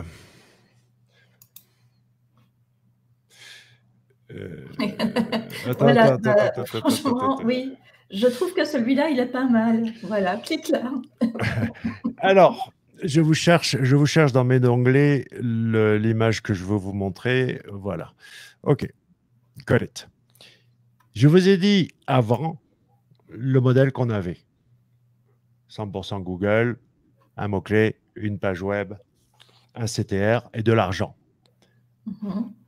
Je suis désolé pour ceux qui pensent encore comme ça, et c'est la vaste majorité des gens qui, font, qui veulent gagner du fric sur le web et des référenceurs, je peux garantir votre échec. Je peux garantir que vous allez dégager cette année et la suivante. Dans les deux ans, deux à trois ans qui viennent, vous allez dégager et vous allez manquer à personne.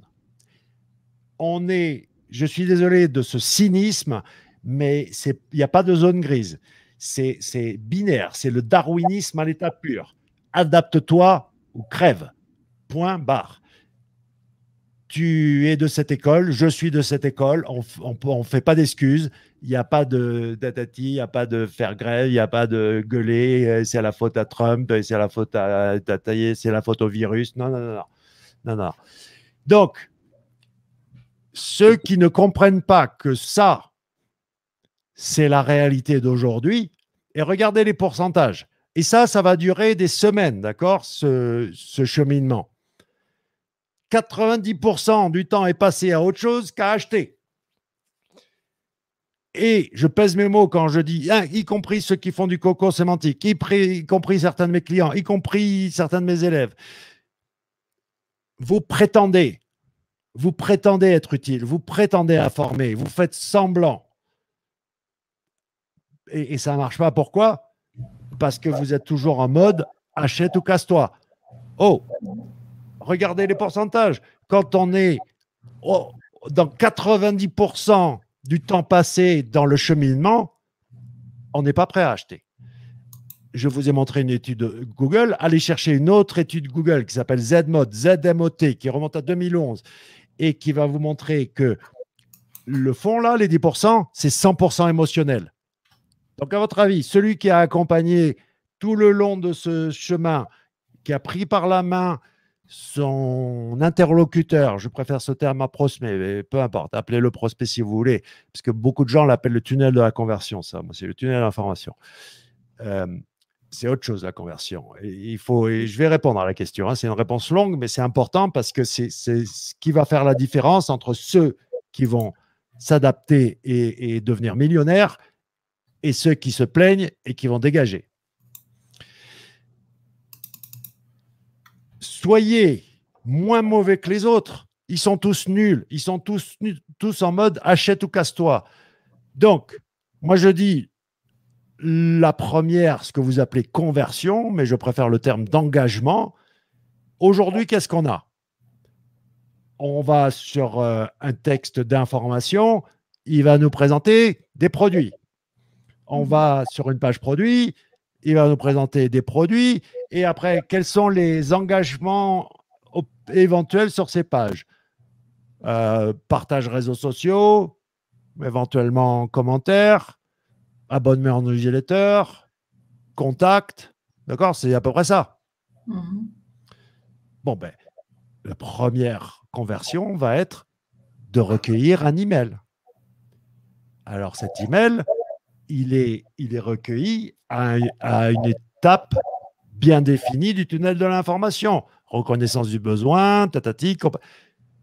N'allez pas utiliser cet email pour, pour euh, envoyer vos, nouveautés, vos promos. Alimenter, déjà pour la transaction, pour choper l'email, il va falloir donner une valeur ajoutée informative. Et cet email, il va falloir. C'est là, je vous dis, vous prenez par la main la personne. Avant, on pouvait le faire grâce au pixel Facebook, on pouvait traquer quelqu'un. Avant Cambridge Analytica, c'était un peu la fête au tracking. C'est plus le cas aujourd'hui. Sur le plan personnel, c'est un bien. Je trouve que c'est très bien. D'un point de vue marketeur, ben, bien sûr que c'était mieux de pouvoir pister les gens à la trace. Mais bon, bref, c'est parti, ça ne reviendra plus. Donc, on fait, on fait, on fait avec. Mais c'est tout. C'est qu'une question d'être un peu moins un peu moins naïf et un peu moins nul que les autres qui sont toujours en mode achète ou casse-toi. Je ne dis pas que ça marche pas de faire du porte-à-porte, mais moi, ma méthode, elle est différente. Euh, c'est toute la différence. Le inbound, outbound, et il y en a qui mettent des termes là-dessus. C'est tout con. C'est soit tu fais du branding euh, et tu fais du branding. Je ne dis pas qu'il ne faut pas faire du porte-à-porte, ça marche très bien. Mais, mais, faire en sorte que de, de tisser une connexion et de faire en sorte qu'il y ait, y ait une, quelque chose qui se passe et que, en plus, euh, je vous parlais de l'étude ZMOT, ZMOT. Cherchez une autre étude Google sur le Messi Middle, d'accord? Donc ZMOT, c'est 2011. De Messi Middle, je crois que c'est il y a deux ans. Euh, je suis quand même pas mal avec les dates. Pour moi qui ne me rappelle même pas la date de mon anniversaire, je m'étonne moi-même. Donc, la dernière étude Google de ce type, c'est pas moi qui le dis, c'est Google. De Messimidor, c'est quoi? C'est le truc en orange là. OK? C'est le milieu de ce tunnel de l'information. Donc, si vous ne me croyez pas moi, peut-être que si Google le dit, vous allez peut-être commencer à le croire. Et puis, et puis c'est tout. Moi, ce truc-là, ça fait juste 15 ans que je l'utilise. Euh, euh, la performance, la web perf, tout le monde en parle aujourd'hui, les web core vitals. Ok, je suis désolé, euh, mise à jour de l'infra Google, ça remonte à 2009, ça s'appelait Caféine, ça fait depuis 2009. Juste avant toi, j'étais en, conversation avec mon sysadmin parce que refonte de mon site. Tu sais à combien il tombe mon, mon site là, affichage? D'un WordPress 0,04 secondes. Vous en voulez de la web perf? OK mais nous, euh, ton développeur en commentaire. Magento, pareil, on arrive à les 0, euh, enfin, on est, on est largement en dessous de la seconde, on est dans les centièmes de millisecondes. Bon, bref, euh, ça sera pour Bootcamp, la, mm. la leçon sur le, l'hébergement en mode avancé, mais sinon, oui, je peux vous le donner, le nom du. Si vous voulez un vrai hébergeur, j'ai pas de commission, j'ai pas de truc, allez voir Pierre Alain. Là, vous avez, là, vous avez, d'accord. C'est autre chose que, et c'est pas forcément plus cher. Euh, j'ai oublié où on en était du coup là. J'ai digressé. Eh ben là, on parlait en fait donc comment intégrer finement un CTA dans un texte informatif? Et je suis passé sur la web perf. Waouh, là le glissement sémantique il est fort. Euh, donc, ouais, le call to action, ben tiens, prenons ce site comme, euh, comme euh, exemple, tu vois, où il fait pas trop bien le taf. De, de tu connais ma fiche action branding, tu vois, et vas-y, affiche le site. Et, et, comment tu réponds en, en 4 secondes, en 5 secondes à quatre questions? Mm-hmm. Première seconde, première question, comment vas-tu m'aider? J'ai pas dit qu'est-ce que tu vas me vendre. Comment vas-tu m'aider? Deuxième question, qui es-tu? Troisième question, qu'est-ce qu'on fait maintenant? Sur la page, là, tu veux que je clique où? Voir off, contact, choisi, d'accord? Mhm. euh, Et la dernière, celle qui tue, pourquoi toi? Allez, on, va, on, fait le test en live. On va voir notre ami Antoine. Je ne sais pas s'il est là, s'il nous regarde ou pas. Regardez comment c'est possible de répondre. Alors, si ça va bugger, sans doute. Mais non. Antoine, ah oui. Alors, attendez, hop, je remets. Et vous allez compter jusqu'à 5 et je réponds à ces quatre questions.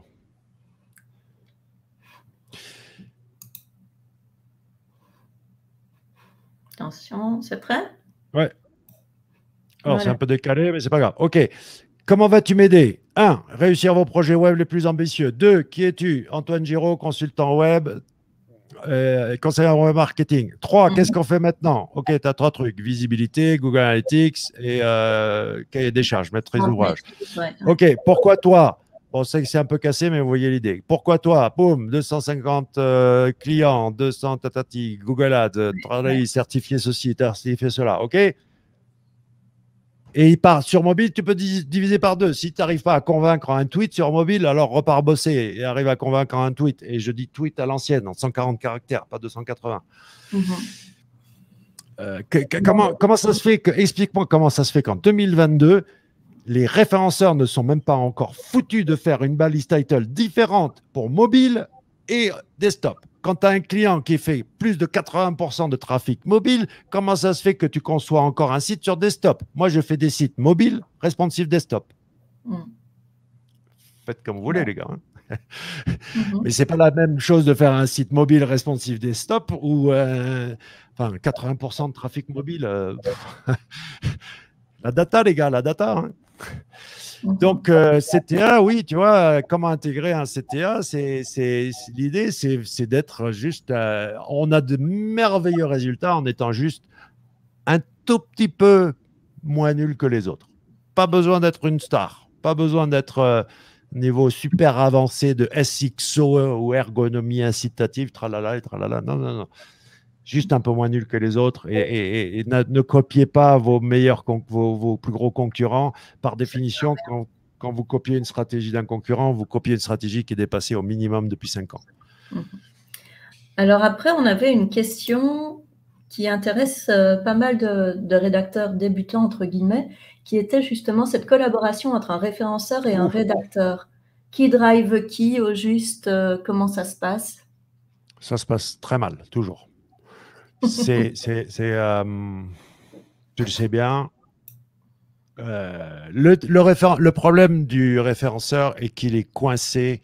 C'est bien beau l'image de Renaud Joly de l'époque qui avait donc le périmètre du SEO avec le référenceur au milieu. C'est lui qui, qui est le rouage de tout l'ensemble, tatati tatata, ça c'est ouais, même pas en rêve quoi. Euh, donc le référenceur, il est coincé entre la direction, le marketing, la technique, il est là après en sandwich, et que bien sûr, le peu de pouvoir qu'il va avoir, euh, donc pauvre rédacteur web, ben, vous servez de punching ball pour, pour qu'il puisse euh, ben, faire sortir toute sa frustration de pouvoir faire ce qu'il veut. Donc là, oh, tiens, j'ai des gens sur lesquels je peux essayer de les. Non, c'est pas comme ça. C'est pas comme ça. Déjà, pourquoi je suis aussi fort Pourquoi je suis le meilleur? Pourquoi il n'y a personne qui est aussi bon que moi? C'est très simple.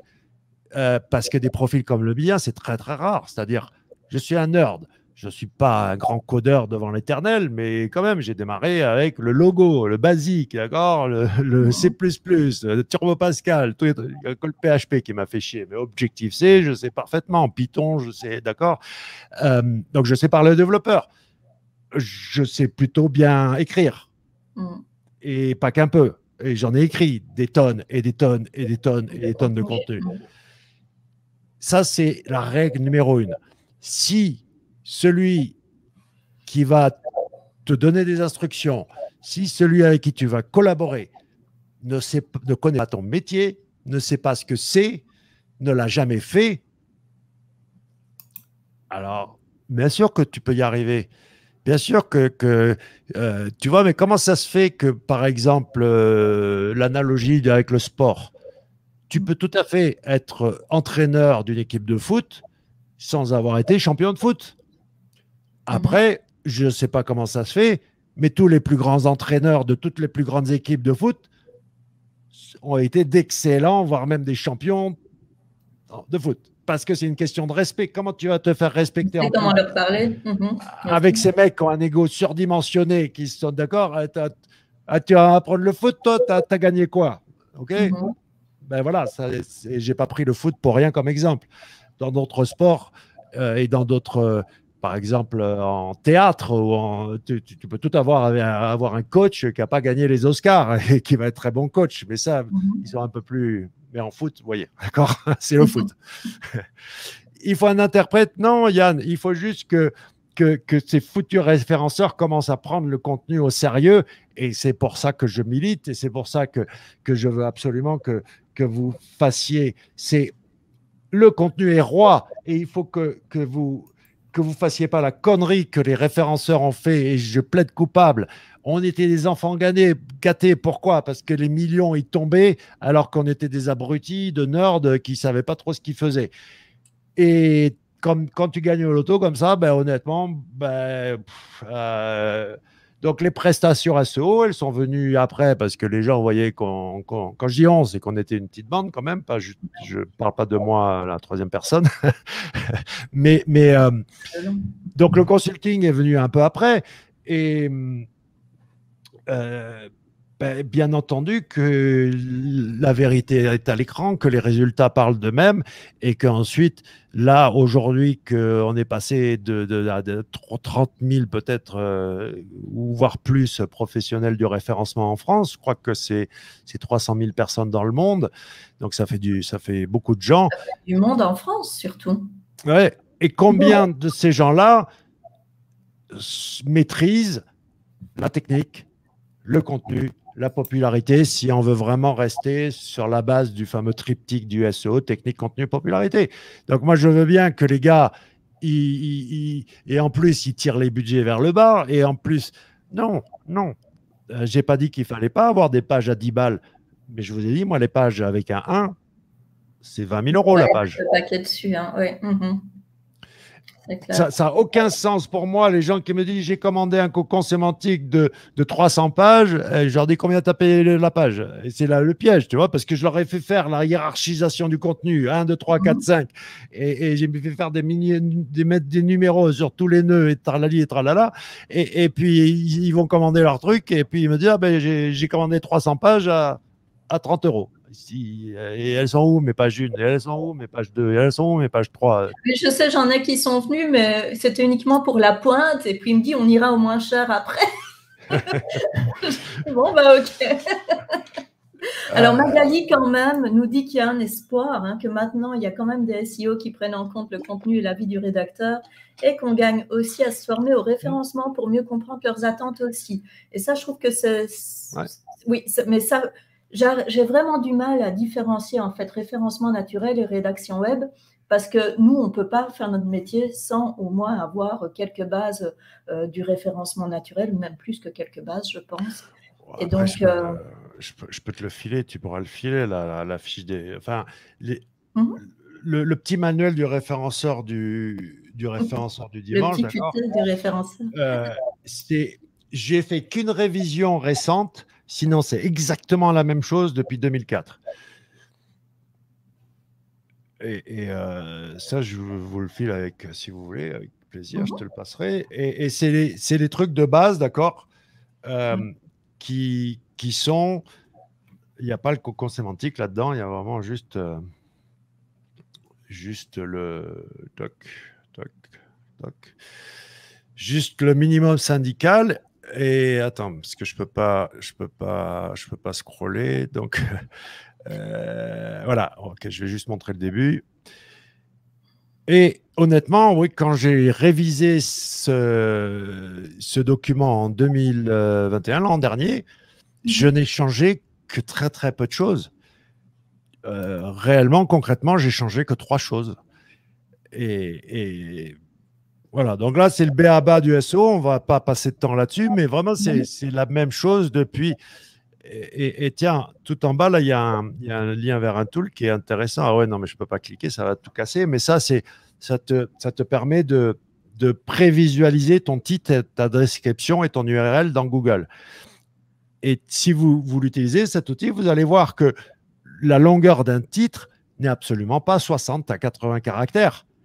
Mmh. C'est des pixels. C'est de tête 575 pixels sur desktop. iPhone 5, euh, je crois que c'est 380 pixels ou un truc comme ça. Mhm. D'accord? Donc, si tu ne fais pas un titre différent sur desktop et sur mobile, je te laisse imaginer à quoi ressemble ton titre sur mobile alors que tu l'as optimisé. il, fait, tout l'écran, quoi. c'est ça. Mhm. Ben, justement, j'ai vu quelque chose d'intéressant dans, ta feuille? Euh, ici dans ton doc. Donc, euh, en disant que l'important, voilà, c'était le haut de la page surtout. Et je sais qu'on a déjà eu une, description où tu disais sur un article de, de 2000 mots ou 3000 mots, euh, pas forcément besoin d'optimiser l'entièreté de l'article, mettons le paquet sur le haut de la page et puis après on peut lever le pied sur la suite du texte. Ah, c'est même plus que lever le pied, c'est désoptimiser. Mhm. Euh, parce que ce que je vois, c'est que maintenant, les rédacteurs suroptimisent naturellement. Donc, oui, un, balise title, ça doit être une partition. Balise title et meta. Donc, balise title, c'est l'élément le plus puissant on page. Mhm. Meta description n'a pas de poids, mais par contre, c'est votre carte de visite si elle est bien reprise par Google. Euh, Donc Ouais. là, là, il faut y mettre tout ce qu'on a et ça va au-delà du SEO, copywriting, d'accord? Euh, c'est pour ça que je vous ai fait un tweet. euh, J'ai retweeté avec un, un titre un peu accrocheur euh, dans mon style. Je n'ai pas de pitié rapidement pour cette histoire de clickbait et, et qu'on appelle en français le putaclic. C'est une Mhm. question de vie ou de mort pour votre contenu, le titre, d'accord? Que, ce- Mhm. que ce soit accrocheur. Le problème, c'est pas de faire un titre accrocheur. Le problème, c'est de surpromettre et sous-délivrer. Absolument. Donc, je vais le mettre comme ça. Ceux qui n'étaient pas sur Twitter, voilà. surpromettre et sous-délivrer, voilà le problème. Mais Mhm. sinon, moi, j'ai aucune pitié avec mes titres, et dans le sens où, où, oui, euh, l'agressivité. Bon, alors, je peux pas te faire de démo comme je voudrais, euh, comme je voudrais. Attends, bon, on va, si on va le faire parce que c'est rigolo, euh, même s'il faut que j'arrête le partage et que je le reprenne. Attends, je vais un peu fermer des onglets là. Donc, Je peux y aller? Enfin, tu non, me non, dis non. quand. là. Non, non, non, non, non, parce que ça va tout casser. Attends, euh, qu'est-ce que je, qu'est-ce que je voulais, euh, qu'est-ce qu'on va prendre comme requête? C'était ça. Télé- euh, allez, télévision, on va reprendre télévision 4K. Télévision, téléviseur, c'est pas la même chose. Mhm. Est-ce que, vous voyez, entre, par exemple, le buyer persona, est-ce que mon buyer persona, est-ce qu'il est qu'il cherche SEO ou référencement? C'est quand on connaît bien son buyer persona, moi, le, le, le boss d'une boîte, il va plus utiliser le terme, le terme euh, référencement SEO. Alors, euh, donc, je vous montre, là, vas-y, Voilà. j'ai j'ai copié sur 100 résultats l'intégralité du résultat de recherche, d'accord? Mhm. Alors, je coupe pour aller dans 1.fr et euh, je vais chercher. J'ai mis télévision ou téléviseur? Télévision, je crois. Tu utilises un point .fr, Laurent? Ben, c'est pas que j'utilise euh, un point .fr, c'est que je, je, je vous Ah, montrerai. Il y, a les, il y a les outils de la famille Cocon sémantique et il y a les autres. Euh, les outils de la famille Cocon sémantique, vous les retrouvez sur, euh, sur FrenchTouchSEO.com. Mhm. Euh, le co- 1.fr, c'est la sémantique pour ma grand-mère, d'accord? Euh, C'est la volonté de non, mais c'est la volonté de Pierre-Yves, le développeur. Il disait voilà, je vais faire un outil super simple et hum, facile à utiliser pour tout le monde. Et ensuite, euh, donc oui, ce que je voulais vous montrer, c'est, vas-y, tu peux. Ah, attends. Hop. Non. Ben non, il faut que je te partage d'abord. Donc, je répète ce que j'ai fait. J'ai cherché télévision 4K dans Google. J'ai affiché sur 100 résultats. Et ensuite, je l'ai collé Dans un point dans .fr. un .fr, l'intégralité, d'accord? Les, les, les, les 100 résultats, donc il y a des micro-contenus, et vous voyez bien que télévision 4K est parfaitement optimisé, un score de 100%, Mhm. Donc le résultat de recherche. Et vous voyez bien qu'un résultat de recherche, c'est pas un contenu super lisible si tu en fais un texte, d'accord? Ça ressemble un peu plus à ça ressemble un peu plus à mon contenu autogénéré. Je dis ça, je dis rien. Euh, on peut tout à fait indexer des pages de résultats de recherche dans Google. hein. Regardez, cherchez quant.com dans SEMrush, vous allez voir. Alors là, ça va casser, mais c'est pas grave. Vous le voyez. Donc là, en bas, c'est les mots déjà présents dans le résultat de recherche. Et Ouais. c'est là où, avant nous, ça n'existait pas, ça, là, ces Mhm. suggestions. Pourquoi? Parce qu'avant qu'on arrive, avant que la famille Cocon sémantique, FrenchTouchSEO.com arrive, il n'y avait que deux sources de mots-clés. AdWords à l'époque, Google Ads aujourd'hui et les Google Suggest. Point Mhm. final. C'était les deux seules, seules sources de mots-clés. Ce que vous voyez là, vos, vos euh, answers de public ou tous ces espèces d'outils gratuits qui, soi-disant, explorent le sujet, c'est du pipeau. Il m'a fallu à peu près 17 secondes pour reverse ingénierer que c'était des Google Suggest et ils font les 5 W. Tu sais, qui, quand, quoi, où, comment, pourquoi.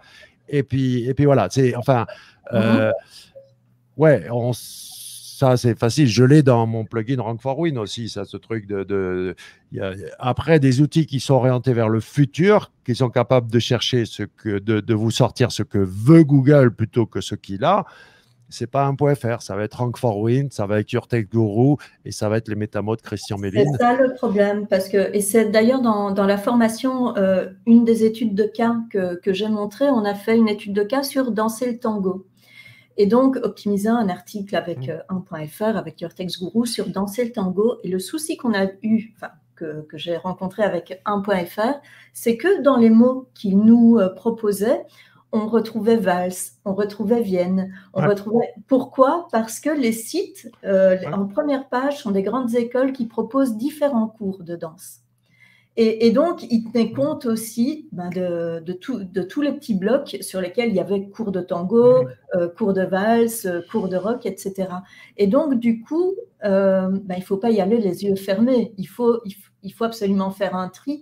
Et si je mettais ben, des tas de mots qui n'avaient rien à voir avec mon texte, qui est danser le tango, si je mettais valse, si je mettais Vienne, si je mettais rock, si je mettais rockabilly, euh, Elvis Presley, etc., eh bien, pouf, j'avais un texte bien, bien optimisé, mais complètement à côté de la plaque. Il faut quand même bien l'avouer. Allons au-delà. Aujourd'hui, en théorie, tu devrais mettre Covid sur toutes les pages du web. On est tous sémantiquement reliés à Covid. Magali, Your Guru fait partie de la famille cocon sémantique, donc j'en pense que du bien. Euh, voilà. ne me posez pas des questions sur des outils qui ne sont pas dans FrenchTouchSEO.com. Voilà, c'est les premiers qui ont levé le doigt. Donc, euh, voilà. Mhm. C'est les premiers qui ont levé le doigt pour, quand j'ai proposé mon truc et qui ont dit tiens, on a, on a une pierre à l'édifice à apporter. Tout le reste n'est que des inspirations plus ou moins copier-coller. Attendez, euh, Screaming Frog nous a piqué, enfin, c'est inspiré des, des, des, visualisations de Coco.se. Avant Coco.se, ça Yoast nous a piqué euh, le, le le truc d'optimisation directe du contenu, euh, ça c'était nous, hein, Rank for Win, bien avant Yoast. Quoi. Euh, et mhm. en plus, on est largement meilleur que Yoast pour ce truc-là. Donc, euh, donc peu importe, hein, ça fait partie du jeu, hein, mais mhm. effectivement, je n'ai pas d'avis sur les autres. Ils répondent à chaque, chacun de ces outils répond à, à, des choses bien précises par rapport à un besoin et j'ai pas j'ai pas besoin d'aller voir ailleurs ou plus. Euh, c'est déjà largement euh, je vous parlais de tiens je vous parlais de l'odeur du mot clé regarde un truc comme ça là. Donc le fameux le fameux le fameux alors bien sûr c'est Christian Méline. Il faut qu'il dise les choses différentes de moi mais ça c'est normal. Euh, donc je vous ai dit que c'était le super pouvoir du référenceur. C'était la notion la plus avancée d'arriver à respirer l'odeur du mot clé mmh et bien là depuis le début il appelle ça parfum, odeur, mais pareil, empreinte, ce que vous voulez. Attends, je. Tu as, quand même, as quand même depuis 10 ans euh, les métamos qui sont à l'intérieur de cocon.se analysent l'odeur du mot-clé d'une certaine manière, euh, bien sûr, à, l'œil et avec mes, mes c'est même plus des dizaines de milliers, mais centaines de milliers d'heures de. Je peux te scroller un résultat de recherche et et ingurgiter son parfum ou son odeur en une fraction de seconde. Mais ça, c'est parce que je le fais depuis tellement longtemps. Euh, mais voilà des, outils qui sont orientés vers le futur, d'accord? Parce que, parce que même Jarvis, euh, GPT-3, c'est du présent, c'est du passé. La base remonte à 2019. Et même s'il veut parler de trucs qui sont actuels, qui sont post-2019, ben, il va analyser le présent. Mmh et, ça n'a rien à voir avec extrapoler sur le futur, sur ce que veut Google. Le, donc, le, nouveau, le nouveau truc de Christian Méline, euh, comment il s'appelle déjà son nouveau C'est pas Eureka, c'est Easy Word. Mmh. Easy Word, là, c'est la première fois que j'ai vu un outil. Alors, il n'est pas dans la French. Il faut qu'on le rajoute d'ailleurs dans French SEO parce qu'il est tout nouveau. Alors, j'ai pas mes accès sous la main, je peux pas vous montrer l'intérieur. Mais là, c'est la première fois qu'un outil nous a sorti des expressions qui sortaient de nulle part. Pas des Google Suggest, pas des Google Ask, pas des pages web. D'accord? La machine a été capable d'extrapoler et de, de, proposer euh, parce que ce, qu'on a dans, dans un.fr, ce que vous avez vu, j'ai dit que les sources de mots-clés, c'était Google Ads et les Google Success. Nous, ce qu'on a introduit, c'est la notion de corpus. Et par mhm. rapport à ton cours de tango, ce qu'il ce qu'il faut faire, c'est que là, tu as accès à un corpus public. ok? Donc, mhm. un .fr a, a, fabriqué tous, ces, tous ces trucs et il a crawlé un peu tous les sujets, tatati, tatata. Déjà, entre parenthèses, le score de 100% n'optimisez jamais à 100% avec cet outil. Et, je reviendrai un peu sur euh, ces fameux, ces fameux 500 premiers mots et le reste. Mais euh, d'avoir une machine qui te sort des expressions sorties de nulle part, ça commence à. je ne vous réalisez pas à mon niveau, euh, j'avais rien, d'accord J'avais un tool qui s'appelait textalizer.net et développé par mon ami Bernard et, qui l'a revendu, euh, qui, sortait des trucs Gunning Folk Index, euh, densité lexicale. La densité mmh. lexicale est quelque chose d'intéressant. C'est tous les mots intéressants, mais densité de mots-clés, qui, qui t'évacuait tous les stop words, tous les mots de trois. Parce que, chers, chers amis rédacteurs, vous, avez, vous facturez 1000 mots, mais des fois, je me retrouve qu'avec 700, parce que certains rédacteurs utilisent beaucoup de stop words, donc des, mots de trois caractères au moins. Quand j'achète 1000 mots, j'aimerais bien avoir 1000 mots et pas, et pas 700. Mais ça, ça dépend des rédacteurs. Euh, et, mais je veux savoir, d'accord, si j'ai un texte de 1000 mots, mais qu'il y y a 300 mots, c'est des stop words, euh, ben, c'est pas pareil, quoi. Euh, il, jouait au jeu du mot mystère et il te remontait les, mots les plus, enfin, qui, qui, ressortaient le plus, etc. Donc c'était un outil sympa, mais, mais qui est très archaïque par rapport à la science-fiction qu'on a aujourd'hui. C'est incroyable. Maintenant. Et comment est-ce qu'on peut faire confiance à ces outils, vu qu'ils prédisent des choses, mais on ne eh peut ben, pas être sûr donc, tu paries sur quoi? Sur la personne qui l'a créé? Sur la technologie qu'il utilise? Tu paries sur quoi? Sur tes 3 milliards de neurones, et c'est là où vous devez jouer votre carte. C'est-à-dire que, surtout là, avec la tendance GPT-3 Jarvis, contenu automatisé, et les gars, je parle rédacteur web, pas les SO. Les SO, c'est des rêveurs s'ils croient que. Il y en a un, je sais pas, j'ai vu un mec qui, voulait écrire un livre, qui écrivait un livre là avec euh, GPT-3, d'accord? Mon œil, mon œil, espèce de menteur. S'il n'y a pas de révision humaine, ça vaut que dalle. Et je vous mhm. annonce le désastre par avance de ceux qui, maintenant, je suis rédacteur web et j'ai un outil qui me permet de rédiger dix fois plus vite, je ne vois pas pourquoi je n'utiliserais pas. C'est vrai, sur de la pure requête SEO, des choses où il n'y a rien à réinventer et puis après remettre sa touche, euh, comme tu dis, euh, parce que quelquefois, il y a quand même de grosses conneries qui sortent, hein, donc il faut quand même jeter un œil. C'est pour ça que c'est pour ça que tu as tes 3 milliards de neurones. C'est pour ça que mais, bah mais, mais, quand je vois le temps passer à la rédaction, moi je dis que, que vous devriez utiliser Jarvis. Euh, absolument, pas acheter le mode boss là, 90 dollars par mois. Euh, après, il y a Alt Text qui est un autre truc. Euh, Your Text Guru fait le couplage hein, maintenant de conseil Your Text Guru plus euh, un, un, autre, pas GPT-3, mais un autre. Donc, il va vous sortir un texte optimisé et en plus rédigé automatiquement. Mm-hmm. Moi, je dis que passer cinq minutes à, faire un texte de, de 2000 mots, ça ne vous intéresse pas? D'accord? La machine te le crache et toi, tu passes cinq minutes à, réviser un peu et puis, et puis ça y est. Enfin, je ne vois pas où, est au contraire, bien au contraire. quoi. Moi, je, à mon avis, hein, je pense, je suis pour l'utilisation de ces outils, etc., euh, sur des textes euh, où on ne va pas devoir vraiment mettre la, la touche de, du client, en fait. Donc, comme je dis, des textes purement SEO pour aller chercher des requêtes euh, quelconques. Donc, voilà. Le gros souci, c'est que quand on m'annonce du 5 minutes, etc., je peux t'assurer, euh, Laurent, que j'ai testé, ça m'a quand même pris plus que 5 minutes pour générer. Alors, c'est des choses que... Oui, c'est correct. Mais par contre, il ne faut pas que quelqu'un de trop malin lise l'article parce que franchement, on s'ennuie quand même très très vite. Et ben, Donc, euh, ben, c'est pour ça que tu es là. Est-ce que, je, publierai ça sur mon site? Non, très sincèrement. Et, pas avec euh, même 10 minutes de, choses derrière. Donc, euh, comme je dis toujours, pour certains clients qui ne veulent pas payer le prix pour de la rédaction à bas coût, j'ai l'impression que là, oui. Après. c'est pas ça. Stop, je te, je te, je te, coupe, Audrey. C'est pas ce que je veux dire du tout. Tu, tu, tu as oublié que, regarde, montre mon image. Donc c'est un peu brouillé. C'est un peu brouillé, mais là, est-ce que vous voyez à gauche les petits ah, ronds? fameux niveau 5, etc. OK. Oui, bien Qu'est-ce que j'en ai à faire si les pages autres que mes 20% de pages, c'est-à-dire des pages qui ont un 1 et un 2, ne, et, c'est là où il y a une erreur, je te dis, c'est que les pages qui ont un 1, 20 000 euros d'investissement, les pages qui ont un 2, centaines d'euros d'investissement, les pages qui ont un 3, dizaines d'euros d'investissement, les pages qui ont un 4 et un 5, zéro. Mm-hmm. D'accord? Voilà comment je dispatche mon investissement contenu.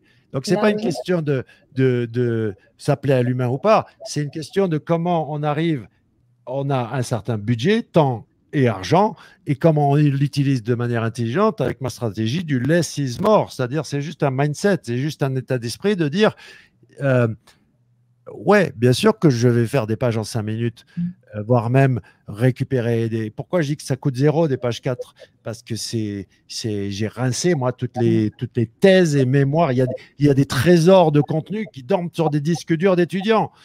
Euh, ben, moi, je les mets en ligne. Mais ce pas des pages qui sont intéressantes pour se positionner sur des mots-clés, même si c'est des pages de 10 000 mots, c'est des trucs, mm. d'accord, de, des mémoires de, d'études. Euh, et à l'inverse, quand je fais une page euh, avec une photo et dix mots dessous, c'est pas une page qui est faite pour se positionner sur quelque chose. Ou alors je fais du référencement pour, euh, sur Google Images et ça c'est autre chose. Il faut être sérieux. C'est pas juste en remplissant les balises altes que vous allez vous référencer sur Google Images, hein, les gars. Entre parenthèses. ok. Sur cette thématique, l'IA est une perte pour la simple et bonne raison que 90 contenus sont déjà bourrés de... Cédric, tu es très gentil. Le web n'est que pourriture. Le web n'est que poubelle. C'est pas 90, c'est beaucoup plus que 90% du contenu sur Internet qui est même pas. Euh, je veux dire, Google le met dans son index dit euh, complémentaire il y a deux index chez Google, index principal et index complémentaire. Et euh, ceux, qui pensent qu'ils ont un site de 40 000 pages et quand on fait l'analyse euh, et quand j'audite et que je dis, ben non, tu n'as que 2000 pages dans l'index principal, mec. Tu n'as pas 40 000 pages. Oh ben merde. Ben ouais. Euh, tu n'as que 2000 pages qui ont un potentiel SEO et tout le reste, tu, non, non, ça ne mhm. marchera pas parce que Google, Google n'en veut pas. Donc, il y a, un vrai décalage entre, entre la réalité de ce qu'est l'adéquation moyen-objectif pour aller de la position X à la position 1. Et là, je te parle encore juste de Google, euh, la version qu'on connaît depuis 1996. Je ne te parle pas de Google Discover, je ne te parle pas de la recherche vocale, je ne te parle pas de, du metaverse, je ne te parle pas de tout ça. Euh, mais ouais, il n'y a, a, pas de secret, hein, honnêtement. Et je vous dis, tout le monde est tellement mauvais qu'il n'y a qu'un levier. Hein. Il n'y a, que deux leviers en SEO. Oui, les leviers branding. Oui, les leviers content marketing. Oui, tout à J'ai même une conférence qui remonte à très longtemps qui s'appelle le person rank, c'est-à-dire le, le, les, les, actions de l'internaute en tant que vote de confiance. Mais mhm. rien ne remplace le lien la page, elle a un potentiel limité. Et ce qui se passe, c'est que tout le monde est en suroptimisation, tout le monde est parti à suroptimiser les pages. Mais avant de passer à l'optimisation de page, terminer là-dessus, le lien, toujours du lien, encore du lien. Pour ça que le co-compte sémantique a tellement de succès, parce qu'on dort sur un trésor qui est le maillage interne. Et quand mhm. on arrive à faire un maillage interne intelligent, ben, il y a de merveilleuses choses qui se passent. Et c'est la différence entre faire un blog où tu enfiles des perles sur un collier, un billet derrière l'autre classé par date, qui n'a aucune espèce de. Enfin, sémantiquement parlant, le classement par date, euh, bof. Et, euh, donc, pour ça que ça marche tellement bien, parce que, parce que tout est cassé du point de vue maillage interne. Donc, quand tu mets un peu de l'ordre, ben, comme par hasard, ça marche. Et après, oui, euh, il, faut, il faut du backlink et, ceux qui pensent qu'il faut juste acheter du backlink, eh ben là, le problème, c'est que soit ils achètent de l'air, c'est-à-dire Google a coupé la pompe à PageRank, ils ne le savent pas, c'est invisible. Donc ils peuvent payer 40 000 euros un lien sur un site de presse, ça va jusque-là, 20, 40. Rendez-vous compte que les mecs vont payer 20, 40 000 un lien sur un, site de presse qui ne va pas diffuser de PageRank. Google a coupé.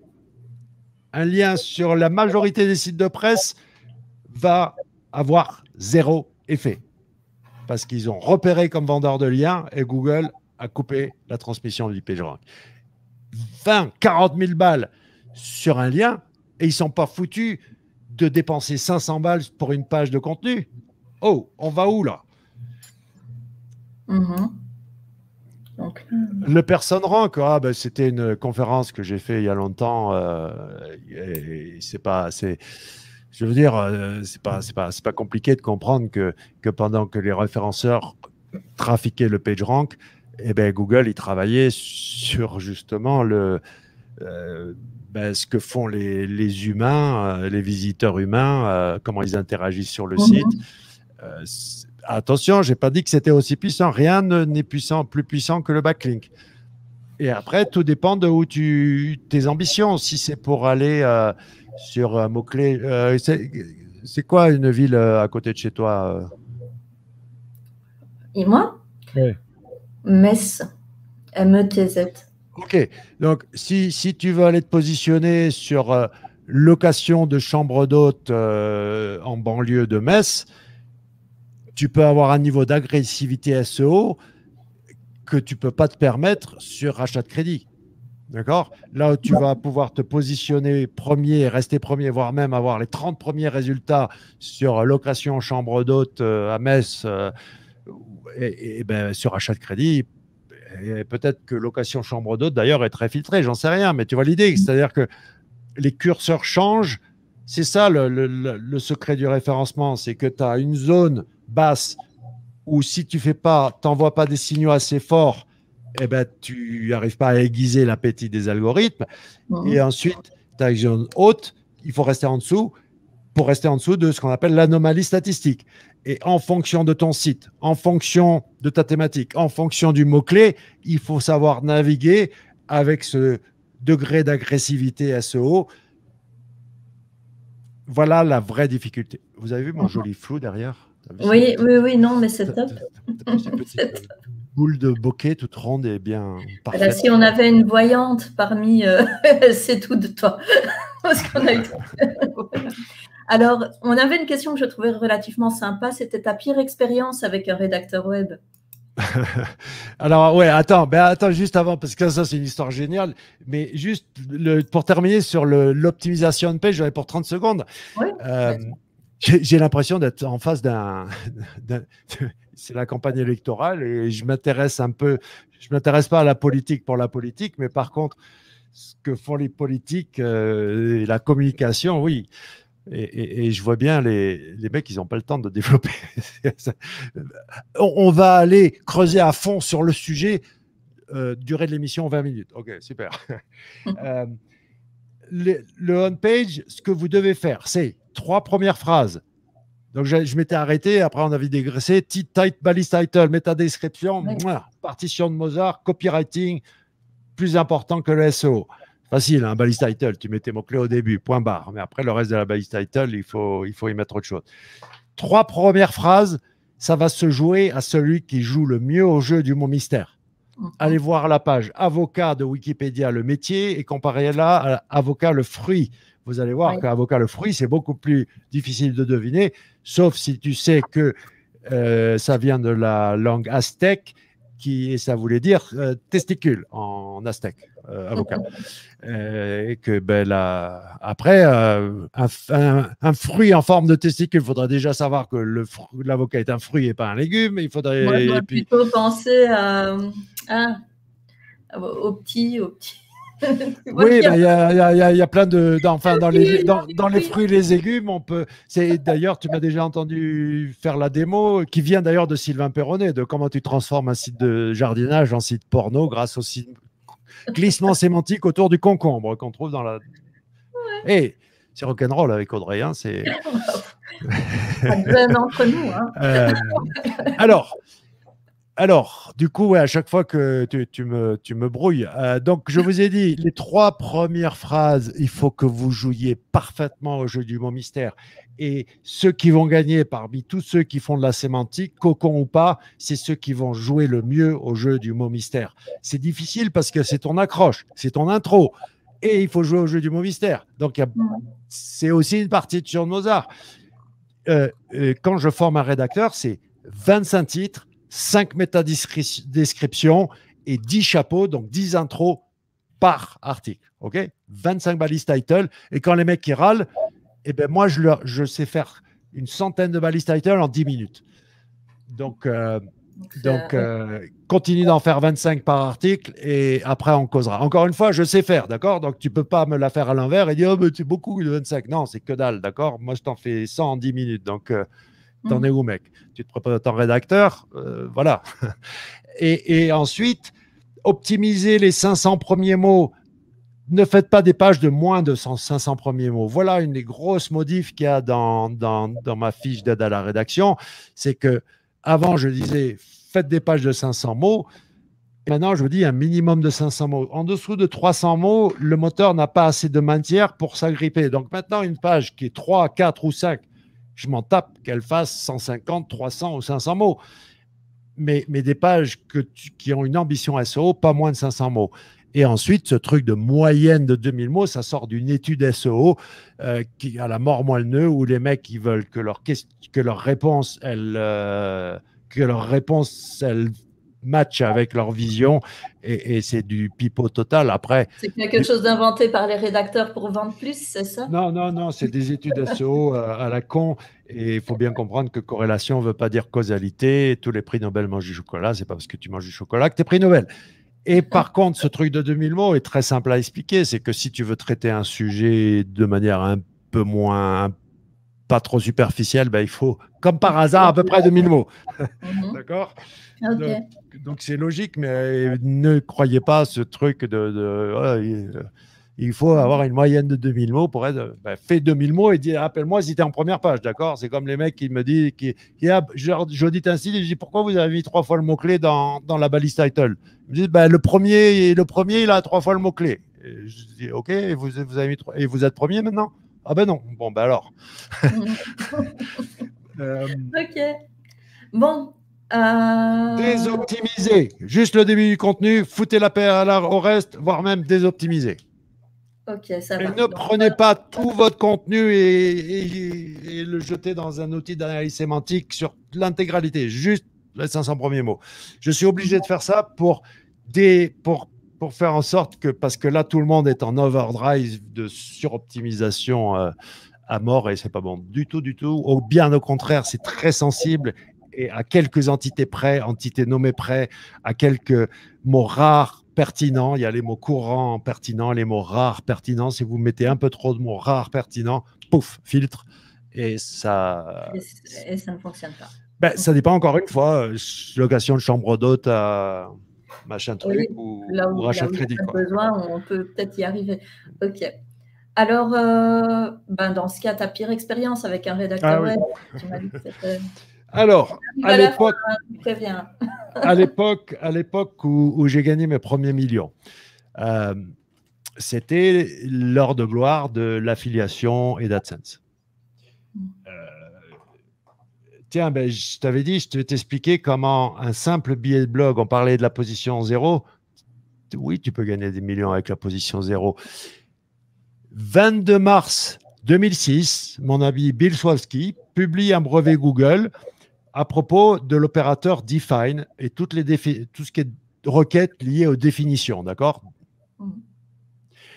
Et ce brevet était en plus un des brevets les, les mieux du point de vue euh, explication tuto. Ça, c'était le 22 mars 2006. Le 23 mars 2006, devinez qui a squatté toutes les définitions. Donc, c'était exactement comme une position zéro hein, en 2006 sur le poker en ligne. Et c'était la période Patrick Bruel, M6 Poker en ligne. Poker Star, etc. Vous, voulez en parler d'un carnage, ok?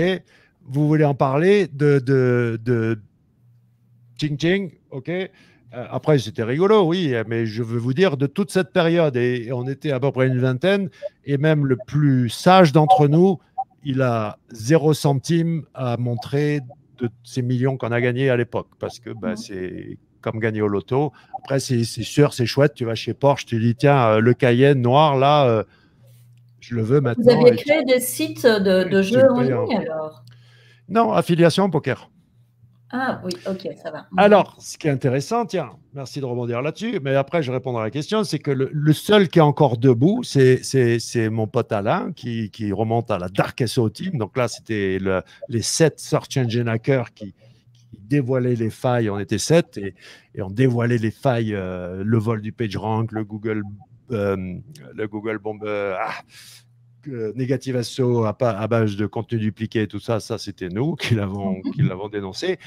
Euh, lui, il a fait un site qui s'appelle K Poker et qui, encore une fois, la data. J'étais en call avec lui sur Skype avec notre affiliate manager et qui nous dit Eh les gars, vous savez qu'il y a simplement 10%, 10 des joueurs de poker qui jouent en ligne? Ok, très bien. Moi, j'étais encore en mode tu vois, SEO à l'arrache. Et, mon pote Alain qui dit Ah, bah tiens, hmm, Intéressant cette data. Donc, il s'est fait chier à acheter un script de salle de poker. Il a fait un vrai site de poker gratuit avec des vraies salles. Les gens venaient jouer gratuitement.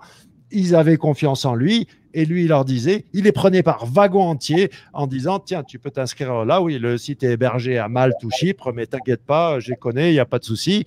Parce que c'était ça qui bloquait c'était que, les gens, ils ne voulaient pas mettre leur carte bleue sur des sites qui étaient dans des paradis fiscaux. Mhm. Euh, alors, maintenant, à cette époque, AdSense, mm-hmm. regardez, regardez, la résolution moyenne des écrans à l'époque, c'était 800 par 600.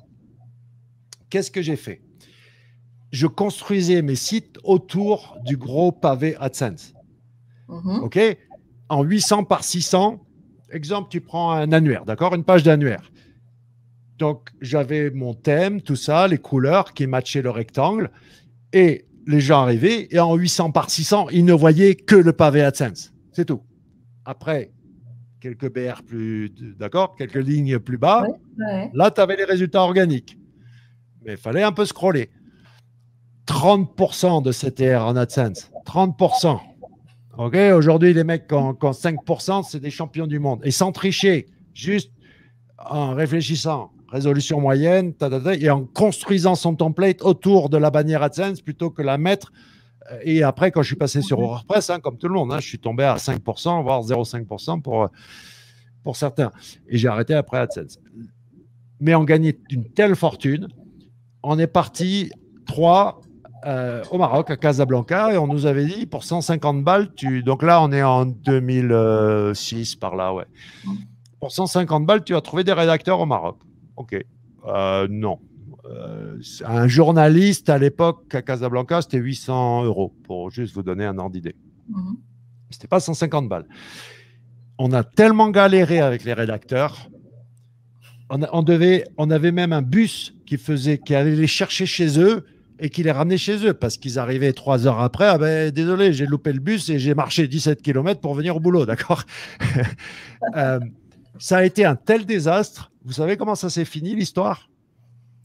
Je peux le dire maintenant parce qu'il y, a prescription, mais on a, arrêté la rédaction et à l'époque, tout le monde s'en foutait du web. On partait de France avec les valises bourrées, on payait d'une fortune en, surpoids, en, bagage, mais c'est pas grave. Des bouquins, on allait tout, d'accord? Les hors-séries euh, euh, de magazines, on s'en foutait. Le routard, le Michelin, ils ne connaissaient pas le web à l'époque. Mm. Et c'était OCR. Donc, on n'avait plus de rédacteurs, on n'avait que des gens avec des scanners qui, qui, scannaient le texte et on foutait ça en ligne. On ne faisait même pas de révision manuelle et, en avant. Du plagiat, du plagiat total de, livres et de. J'adorais les hors-séries, euh, les, hors, les magazines hors-série, euh, c'était magnifique. Mais pourquoi faire euh, AdSense, AdSense, de la pub, pour, pour ah faire des sites et afficher de la pub. Mais oui, mais, mais, mais là, oh, je te parle de revenus dans les dizaines de milliers d'euros par mois en AdSense, mhm. quoi. D'accord Scanner de livres. Mhm. Et eh ouais, et eh ouais. Donc, euh, mon, ouais, le plus gros, la pire expérience, ça a été de, de, monter une usine à fabriquer des sites AdSense euh, en pensant que je pouvais avoir des rédacteurs à 150 euros. Quoi. Voilà. Même au Maroc. De, de, petites mains pour scanner des bouquins à ce prix-là. Ok, ça va. Mais c'était un, un, massacre. Hein. C'était ah ouais, non mais. Ça c'est marrant. voilà. Avec ah, le recul, c'est marrant. Là, j'imagine que ça devait être stressant sur place à l'époque. Mais... Alors non, mais même à l'époque, tu avais par exemple, tu, tu, tu, faisais une affiliation et ça, je me rappelle, c'est un autre Laurent, donc le, fameux plus sage d'entre nous, qui même aujourd'hui n'a zéro centime d'investissement intelligent de cette époque. Euh, et pourtant, lui, vraiment, il était sage. Hein. il n'était pas, il pas taré comme nous. Euh, il était ici chez moi en Andorre. Son père l'appelle et il lui dit euh, Oh, tu as, as, un huissier passé et là, tu as Christian Dior, Kenzo. il y avait tout un groupement de marques de luxe qui s'étaient regroupées déjà à l'époque, 2005, 2006, 2007, ces années-là. Tu pouvais faire de manière légale de l'affiliation pour vendre des parfums. Par contre, tu n'as pas le droit d'appeler ta page parfum Christian Dior. C'est de la contrefaçon de marque et il demandait à l'époque 100 000 euros par page. Ah mhm. et ensuite, pourquoi cette fameuse responsabilité du SEO je dis, je dis, les gars, vous pouvez construire un message, vous pouvez le rendre visible, euh, moi, je me tape le cul par terre quand je vois que les hackers russes ont élu Trump.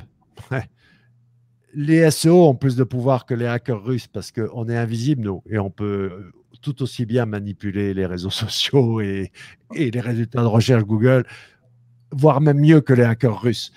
Euh, entre parenthèses, les fameux sites hackés, hein, c'est que des, Russes, hein, qui, c'est, que mhm. qui sont capables de faire la cavalerie parce qu'il faut aussi refaire le système de comment tu encaisses l'argent. C'est ça la footprint. Alors, oui, ma pire expérience, euh, ben, je te dis, ouais, c'est de, de, ouais, d'essayer de, Un remake de Casablanca, quand même. Ben, non, mais je veux dire, de, de, de toujours pareil, euh, j'ai tout essayé en interne, euh, externalisé, etc. Aujourd'hui, moi, je préfère à faire appel à quelqu'un qui gère des rédacteurs et le mal de tête, il est pour toi, il n'est pas pour moi. Ça va, ça va coûter un peu plus cher, mais, mais c'est ton problème, pas le mien.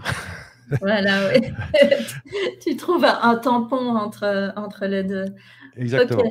Bon, Laurent, je sais qu'il y a un bootcamp à 18h, donc hmm. euh, il ne faut pas qu'on traîne. Ici, on a une petite partie sur le cocon sémantique. Euh, on a déjà parlé, donc à toi de voir éventuellement s'il y a des choses que tu peux ajouter. Donc on avait dit peut-être un plan magique, on nous demandait un plan magique pour intégrer des liens. Est-ce qu'il y a des outils comme ça qui vont te permettre ah de bah, définir tous les liens? Oui, bah, c'est... euh, alors je peux pas, je peux pas trop utiliser parce que ça va pas marcher, mais mais je ne sais pas s'il l'a réparé, mais mon code, euh, mon code promo ne euh, marchait plus, mais vous pouvez le tester et me dire si ça marche ou pas d'ailleurs. Euh, c'est Laurent B en minuscule. Pour utiliser Rank for Win, c'est pas Topical Mesh, attention, c'est Rank for Win, R-A-N-K 4 Win. Et donc, c'est un plugin WordPress. On a aussi le, le truc en SaaS, d'accord? Mais là, tu as un outil de mind mapping. Donc, tu fais ton mind map, tu fais ton, tes nœuds et ensuite tu appuies sur déployer la structure. Ah, attends, ça a tout cassé. J'ai bougé un petit peu et ça a tout cassé. Attends, je repartage.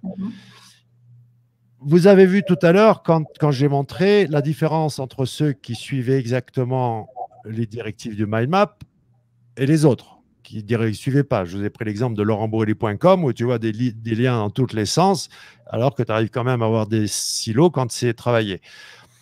Et je vous ai montré un site où effectivement, ils ont suivi le mind map égale le maillage.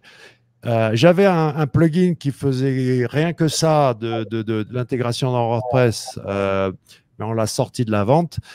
Et aujourd'hui, par contre, euh, oui, il n'y a, que, a que Rank for Win qui est capable de te déployer la structure. J'ai un clic et mon site est fait. Ce que vous n'avez pas, c'est la partie. Ça nous enlève le, mal de tête, quoi, euh, ou, le risque d'erreur, tout simplement. Euh. À, la, à, la, à la virgule près, même l'emplacement dans le code source de manière chirurgicale, les liens plus, plus importants en haut, d'autres euh, les moins importants sous forme de liste en bas, etc. Mon principe du super menu, etc. Tout est fait selon mes préco fondamentales euh, cet, outil fait toute la chaîne de A à Z. Tous les autres outils font un petit peu un morceau, d'accord Oui. Alors que lui, c'est l'intégralité. La seule chose que vous n'avez pas, c'est la partie euh, création automatique du contenu euh, que je mhm. vous ai montré tout à l'heure. Ça, je ne le commercialiserai jamais. Mais tu, fais un site là. Ah, pour ceux qui, je réponds déjà à la question parce qu'on me pose tout le temps. Tu peux copier-coller de Xmind ton mind map directement là-dedans. Par contre, les liens croisés, je ne les autorise pas automatiquement. Ça, faut le faire à la main. C'est trop délicat. Mhm. Et n'utilise pas MindMaster en exportant vers Xmind et ensuite en tant que copiant-collant. Pourquoi? Parce que MindMaster te fait comme Word, tu sais, te, te copie des, CSS et des saloperies dans le code fantôme. Là. Mhm. Euh, mais, alors, euh, il y avait aussi quelqu'un qui posait une question pour savoir s'il fallait absolument utiliser des outils ou est-ce qu'on peut y aller au feeling. Et donc, euh, ben, le jeu du mot mystère. Le jeu du mot mystère, tu n'as que à utiliser ton cerveau pour dire est-ce que cet élément, cette page, ce sujet va bien à côté de cette page? Devant cette page et derrière cette page. Hein. Quand, je dis devant, derrière, c'est au niveau mmh. hiérarchique, dessus, dessous, si on veut parler euh, gangbang et tout quoi. Donc euh, la logique quoi, et, euh, Audrey n'a pas l'air de savoir ce que c'est qu'une gangbang. Un gangbang. non. tu veux Non, non, non, tu iras, sur YouPorn. Va, va, va, va, sur YouPorn dans la catégorie gangbang. Euh... Les enfants, dit. Après, je vais avoir des pop-up sur tout mon ordinateur. Ils vont me demander ce que c'est. Oh là là, non, non. Euh, ouais, non, mais après, le, le, le, feeling, oui, bien sûr, il euh, n'y a rien de mieux que, que toi qui es capable de valider c'est qu'une question de qui est en relation avec quoi et pourquoi. Et plus on va aller en mode tout le monde va batailler euh, avec la sémantique, hein, j'ai bien tenu à dire euh, oui, j'ai un peu parlé du cocon sémantique, mais ce n'est pas le propos du jour. Hein, c'est vraiment de passer au. Euh, mhm. c'est d'utiliser. C'est pour ça que il faut, moi, dans l'atelier cocon sémantique, les outils sont, sont tout à la fin, le dernier cours. Mhm. et que ils apprennent à la main, à la main. À la main. Et, tiens, le mind mapping, l'exercice du mind mapping, mhm. c'est fait en deux, en, deux phases. La première phase, tu n'as pas de site, tu sais pas ce que c'est que les, ton, ton business. Mhm. Tu sors de ce corps et tu deviens ton buyer persona et tu dois élaborer une carte mentale organique comme si tu étais ton buyer persona.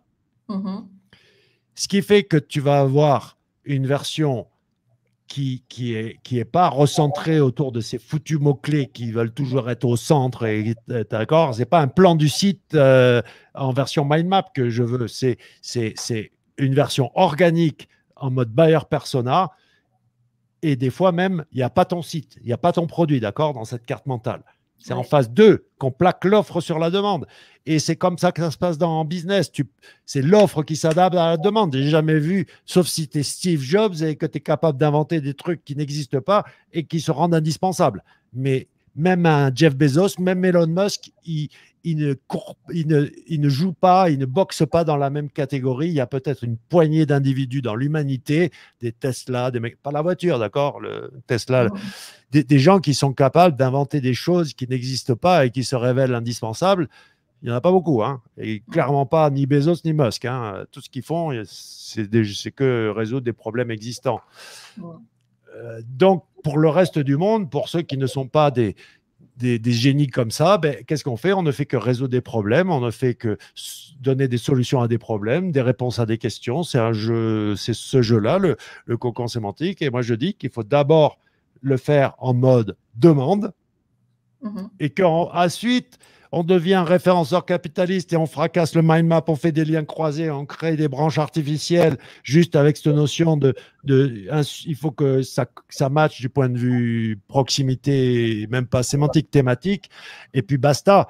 Euh, donc oui, après on fracasse tout, mais ça doit être fait en deux phases. Moi, l'exercice de mind mapping et ensuite la clé, ça, ça doit être ton plan de guerre, c'est ton plan de bataille. C'est pour ça que c'est sur chaque nœud, je ne vous l'ai pas montré, mais il y a plein d'informations. À quel bailleur persona ça s'adresse? Quelle est le, la difficulté, euh, le keyword difficulty euh, Une page euh, pour l'intention et pour le persona. Mhm. Exactement. Et puis, puis ce fameux numéro, c'est pas le même investissement, une page 1 ou une page 4 ou 5, etc., Reprenez le contrôle. question. Rédacteur web un rédacteur web lambda, est-ce qu'il peut proposer le cocon sémantique dans ses services? Ou est-ce que tu conseilles quand même de coupler ça avec un, euh, consultant SEO qui, qui est capable de le faire? Parce qu'ils ne sont pas tous capables non plus.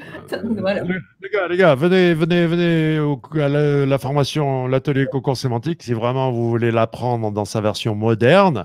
Euh, mmh il y a là, je ne sais pas quand est-ce que tu m'as posé la question, quand est-ce qu'on est dans Stéphanie, ma collaboratrice, qui gère, qui gère maintenant. qui gère tous ces trucs-là. Je ne sais même pas combien ça coûte, je ne sais rien de tout ça, je ne sais pas quand c'est. je sais qu'au dernier moment, quand je dois, quand je dois, quand je dois le tweeter. Mais c'est en plus, ça ne marche quasiment que sur liste d'attente avec donc.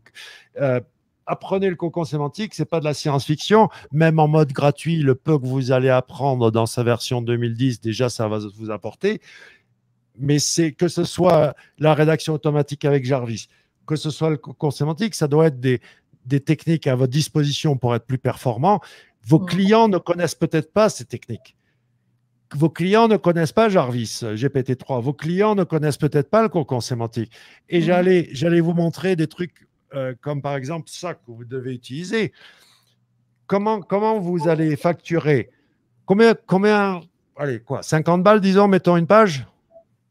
Ah, ça, oui, enfin, ça dépend, ça dépend de, la page, oui. Oui, mais bon, hein, une page de base, d'accord, sans, sans, copywriting, sans aller creuser, sans recherche. 50 balles, ça te va? Ça me va. OK. Qu'est-ce que tu penses de la vendre 80 euh, sans vraiment plus de travail? Ça serait pas mal, non? Bah, écoute, on serait bête de ne pas prendre. Hein. Voilà. Il y a Viomatic et là, mhm. encore mieux, synthesia.io. Euh, ça ressemble de moins en moins à des zombies, là, les avatars. Ils ont vraiment l'air de plus en plus réels. Et là, tu lui files juste du texte et il te fait la vidéo. Après, il y en a, tu files image et texte et ça fait de la vidéo. Donc, moi, ce que je dis au rédacteur, c'est contenu, plus une vidéo, plus, pourquoi pas des images? Quand Comment je fais des images à partir d'un texte? Ben, Je prends des, les, phrases, les, des citations, d'accord? euh, Oui, oui et, j'en fais des images. Enfin, Stéphanie en fait des images. Euh, euh, donc, si vous arrivez à créer une valeur ajoutée, un, paquet, un, pack, D'accord? Au lieu de juste avec ton texte de 2000 mots, tu dis ouais, il y a un texte de 2000 mots, plus une vidéo, plus des images pour que vous commenciez à communiquer en multimédia. À mon avis, tu peux même doubler ou tripler le tarif. Euh, et, surtout, penser à avoir différents tarifs, en, différents tarifs en fonction du niveau d'ambition de la page vous investissez pas pareil. C'est ce que j'explique toujours aux, mmh. élèves. Hein. Certaines pages, on ne les lâche pas pour 50 euh, ou 75 euros. Hein. Euh, voilà, certaines pages, ça, mmh, mmh. voilà, il faut, faut quand même avoir conscience de la valeur. Bien, Laurent, Attends, il y avait, quelqu'un qui disait. Non, j'ai vu une question passer. J'ai dit qu'il y avait trois outils qui oui, Alors c'est Yann. Yann. Non, non, non, Yann, je n'ai pas, pas, dit ça. J'ai dit, dit il y a trois outils qui sont axés vers ce que veut Google au futur, y compris respirer l'odeur du mot-clé. Euh, je t'ai montré les métamots, donc c'en est un qui lui t'affiche le, d'accord, le, ben, le, parfum, euh, que ce soit Your Text Guru ou Rank for Win, non, on ne te montre pas les, comment on a identifié, tiens, il y a des pubs, euh, il y a plutôt des, des, routes domaines ou des pages internes, euh, il y a des EMD, il y a ceci, il y a cela, il y a des ads, il y a des, Wikipédia. on, l'analyse mais on ne te fait pas un compte rendu, que ce soit YourTech ou Rank for Win, mais c'est des choses qu'on prend en compte dans les algos, oui. Et à ma connaissance, il n'y a que Metamo, YourTech Guru et, et, Rank for Win qui sont des outils orientés vers ce que veut Google composer au futur. Voilà. Mhm. Ok. Eh bien là, on est arrivé donc à, la fin. Hein. je, vais, je vais quand même te libérer, que tu puisses un peu euh, préserver ta voix pour ce soir. Euh, donc, euh, bah, merci déjà pour, ta présence, pour toutes les réponses aux, questions des élèves de, de rédaction Web Level Up. Euh, et, et, pour ta sympathie, on a bien ri hein, quand même. ça, ça mais, mais attention, maintenant, c'est plus dur. des choses que je, en plus. Ma, ma, ma, chère Audrey, de toute façon, tu sais bien que c'est toujours le, la première fois la plus, la, plus, la plus difficile. Donc maintenant que c'est fait, on va pouvoir refaire ça plus fréquemment. Et, et, euh, et, puis pourquoi pas, oui, euh, faire un truc juste pour tes élèves en interne qui soit, qui soit je leur ai déjà annoncé le gros cadeau, je ne savais pas me retenir. De, de euh, part. Donc, oui, oui, on va. J'ai ouvert un peu le capot, mais j'ai montré qu'à peu près un quart de tous les onglets que j'avais en réserve au cas où euh, il fallait dégainer quelque chose. Mais j'ai. Ouais. On va, aller. Euh, je leur ai dit, je leur ai dit qu'ils auraient un, petit, un petit gros cadeau. Oui, oui, oui. Vous allez voir que ça va. Je vais vous. Spécial Audrey parce que c'est ma chouchou. Euh. Ah, voilà, c'est trop gentil. Bon, sur ce, Laurent, bonne, euh, bonne soirée. Laura, ah bah Laura, elle fait partie, Magali aussi, elle fait partie de la formation. Donc, euh, elles, attendent que ça. Elles sont toujours. et Rabea, Rabea, Rabea, oui, ok. Donc, mais voilà, donc à bientôt. Euh, bah, tout à l'heure pour le, pour le bootcamp. On se retrouve là-bas, nous. Et puis, euh, et puis bah, merci à tous ceux qui ont, qui ont suivi. J'ai vu qu'à un moment donné, on était, on était déjà euh, pas mal. On a fait 2h20, j'avais prévu 1h30. Et voilà, je tiens à dire non, on n'aura pas fait 3 heures aujourd'hui. Donc, mais, bon, pour ceux qui ont écouté jusqu'à la fin, sachez quand même que, attention, elle ne fait pas beaucoup de bruit, mais sachez quand même que Audrey est à l'intérieur de Bootcamp une des pierres angulaires, hein, une des, un des. Euh, oui, elle fait partie des, des, piliers fondamentaux de la famille. Il y a, il y a le, le cœur de Bootcamp, le cœur de Cocon, et il y a Audrey. Voilà. Voilà, moi, moi je suis le gros point là. non, ça c'est lui, hein, parce qu'autrement je ne suis pas encore au combat. Allez, je vous laisse tous. Merci en tout cas d'avoir été présent. On essaie de faire des lives plus, souvent avec d'autres intervenants. Merci à Laurent d'être là. Il revient auprès des élèves très bientôt avec un truc euh, euh, bah, qui, va, qui va cartonner, quoi, hein, qui va vraiment vous aider à level up, comme on dit hein, chez nous. Et puis, euh, et puis voilà, à, très bientôt et merci. Ciao, merci. Voilà.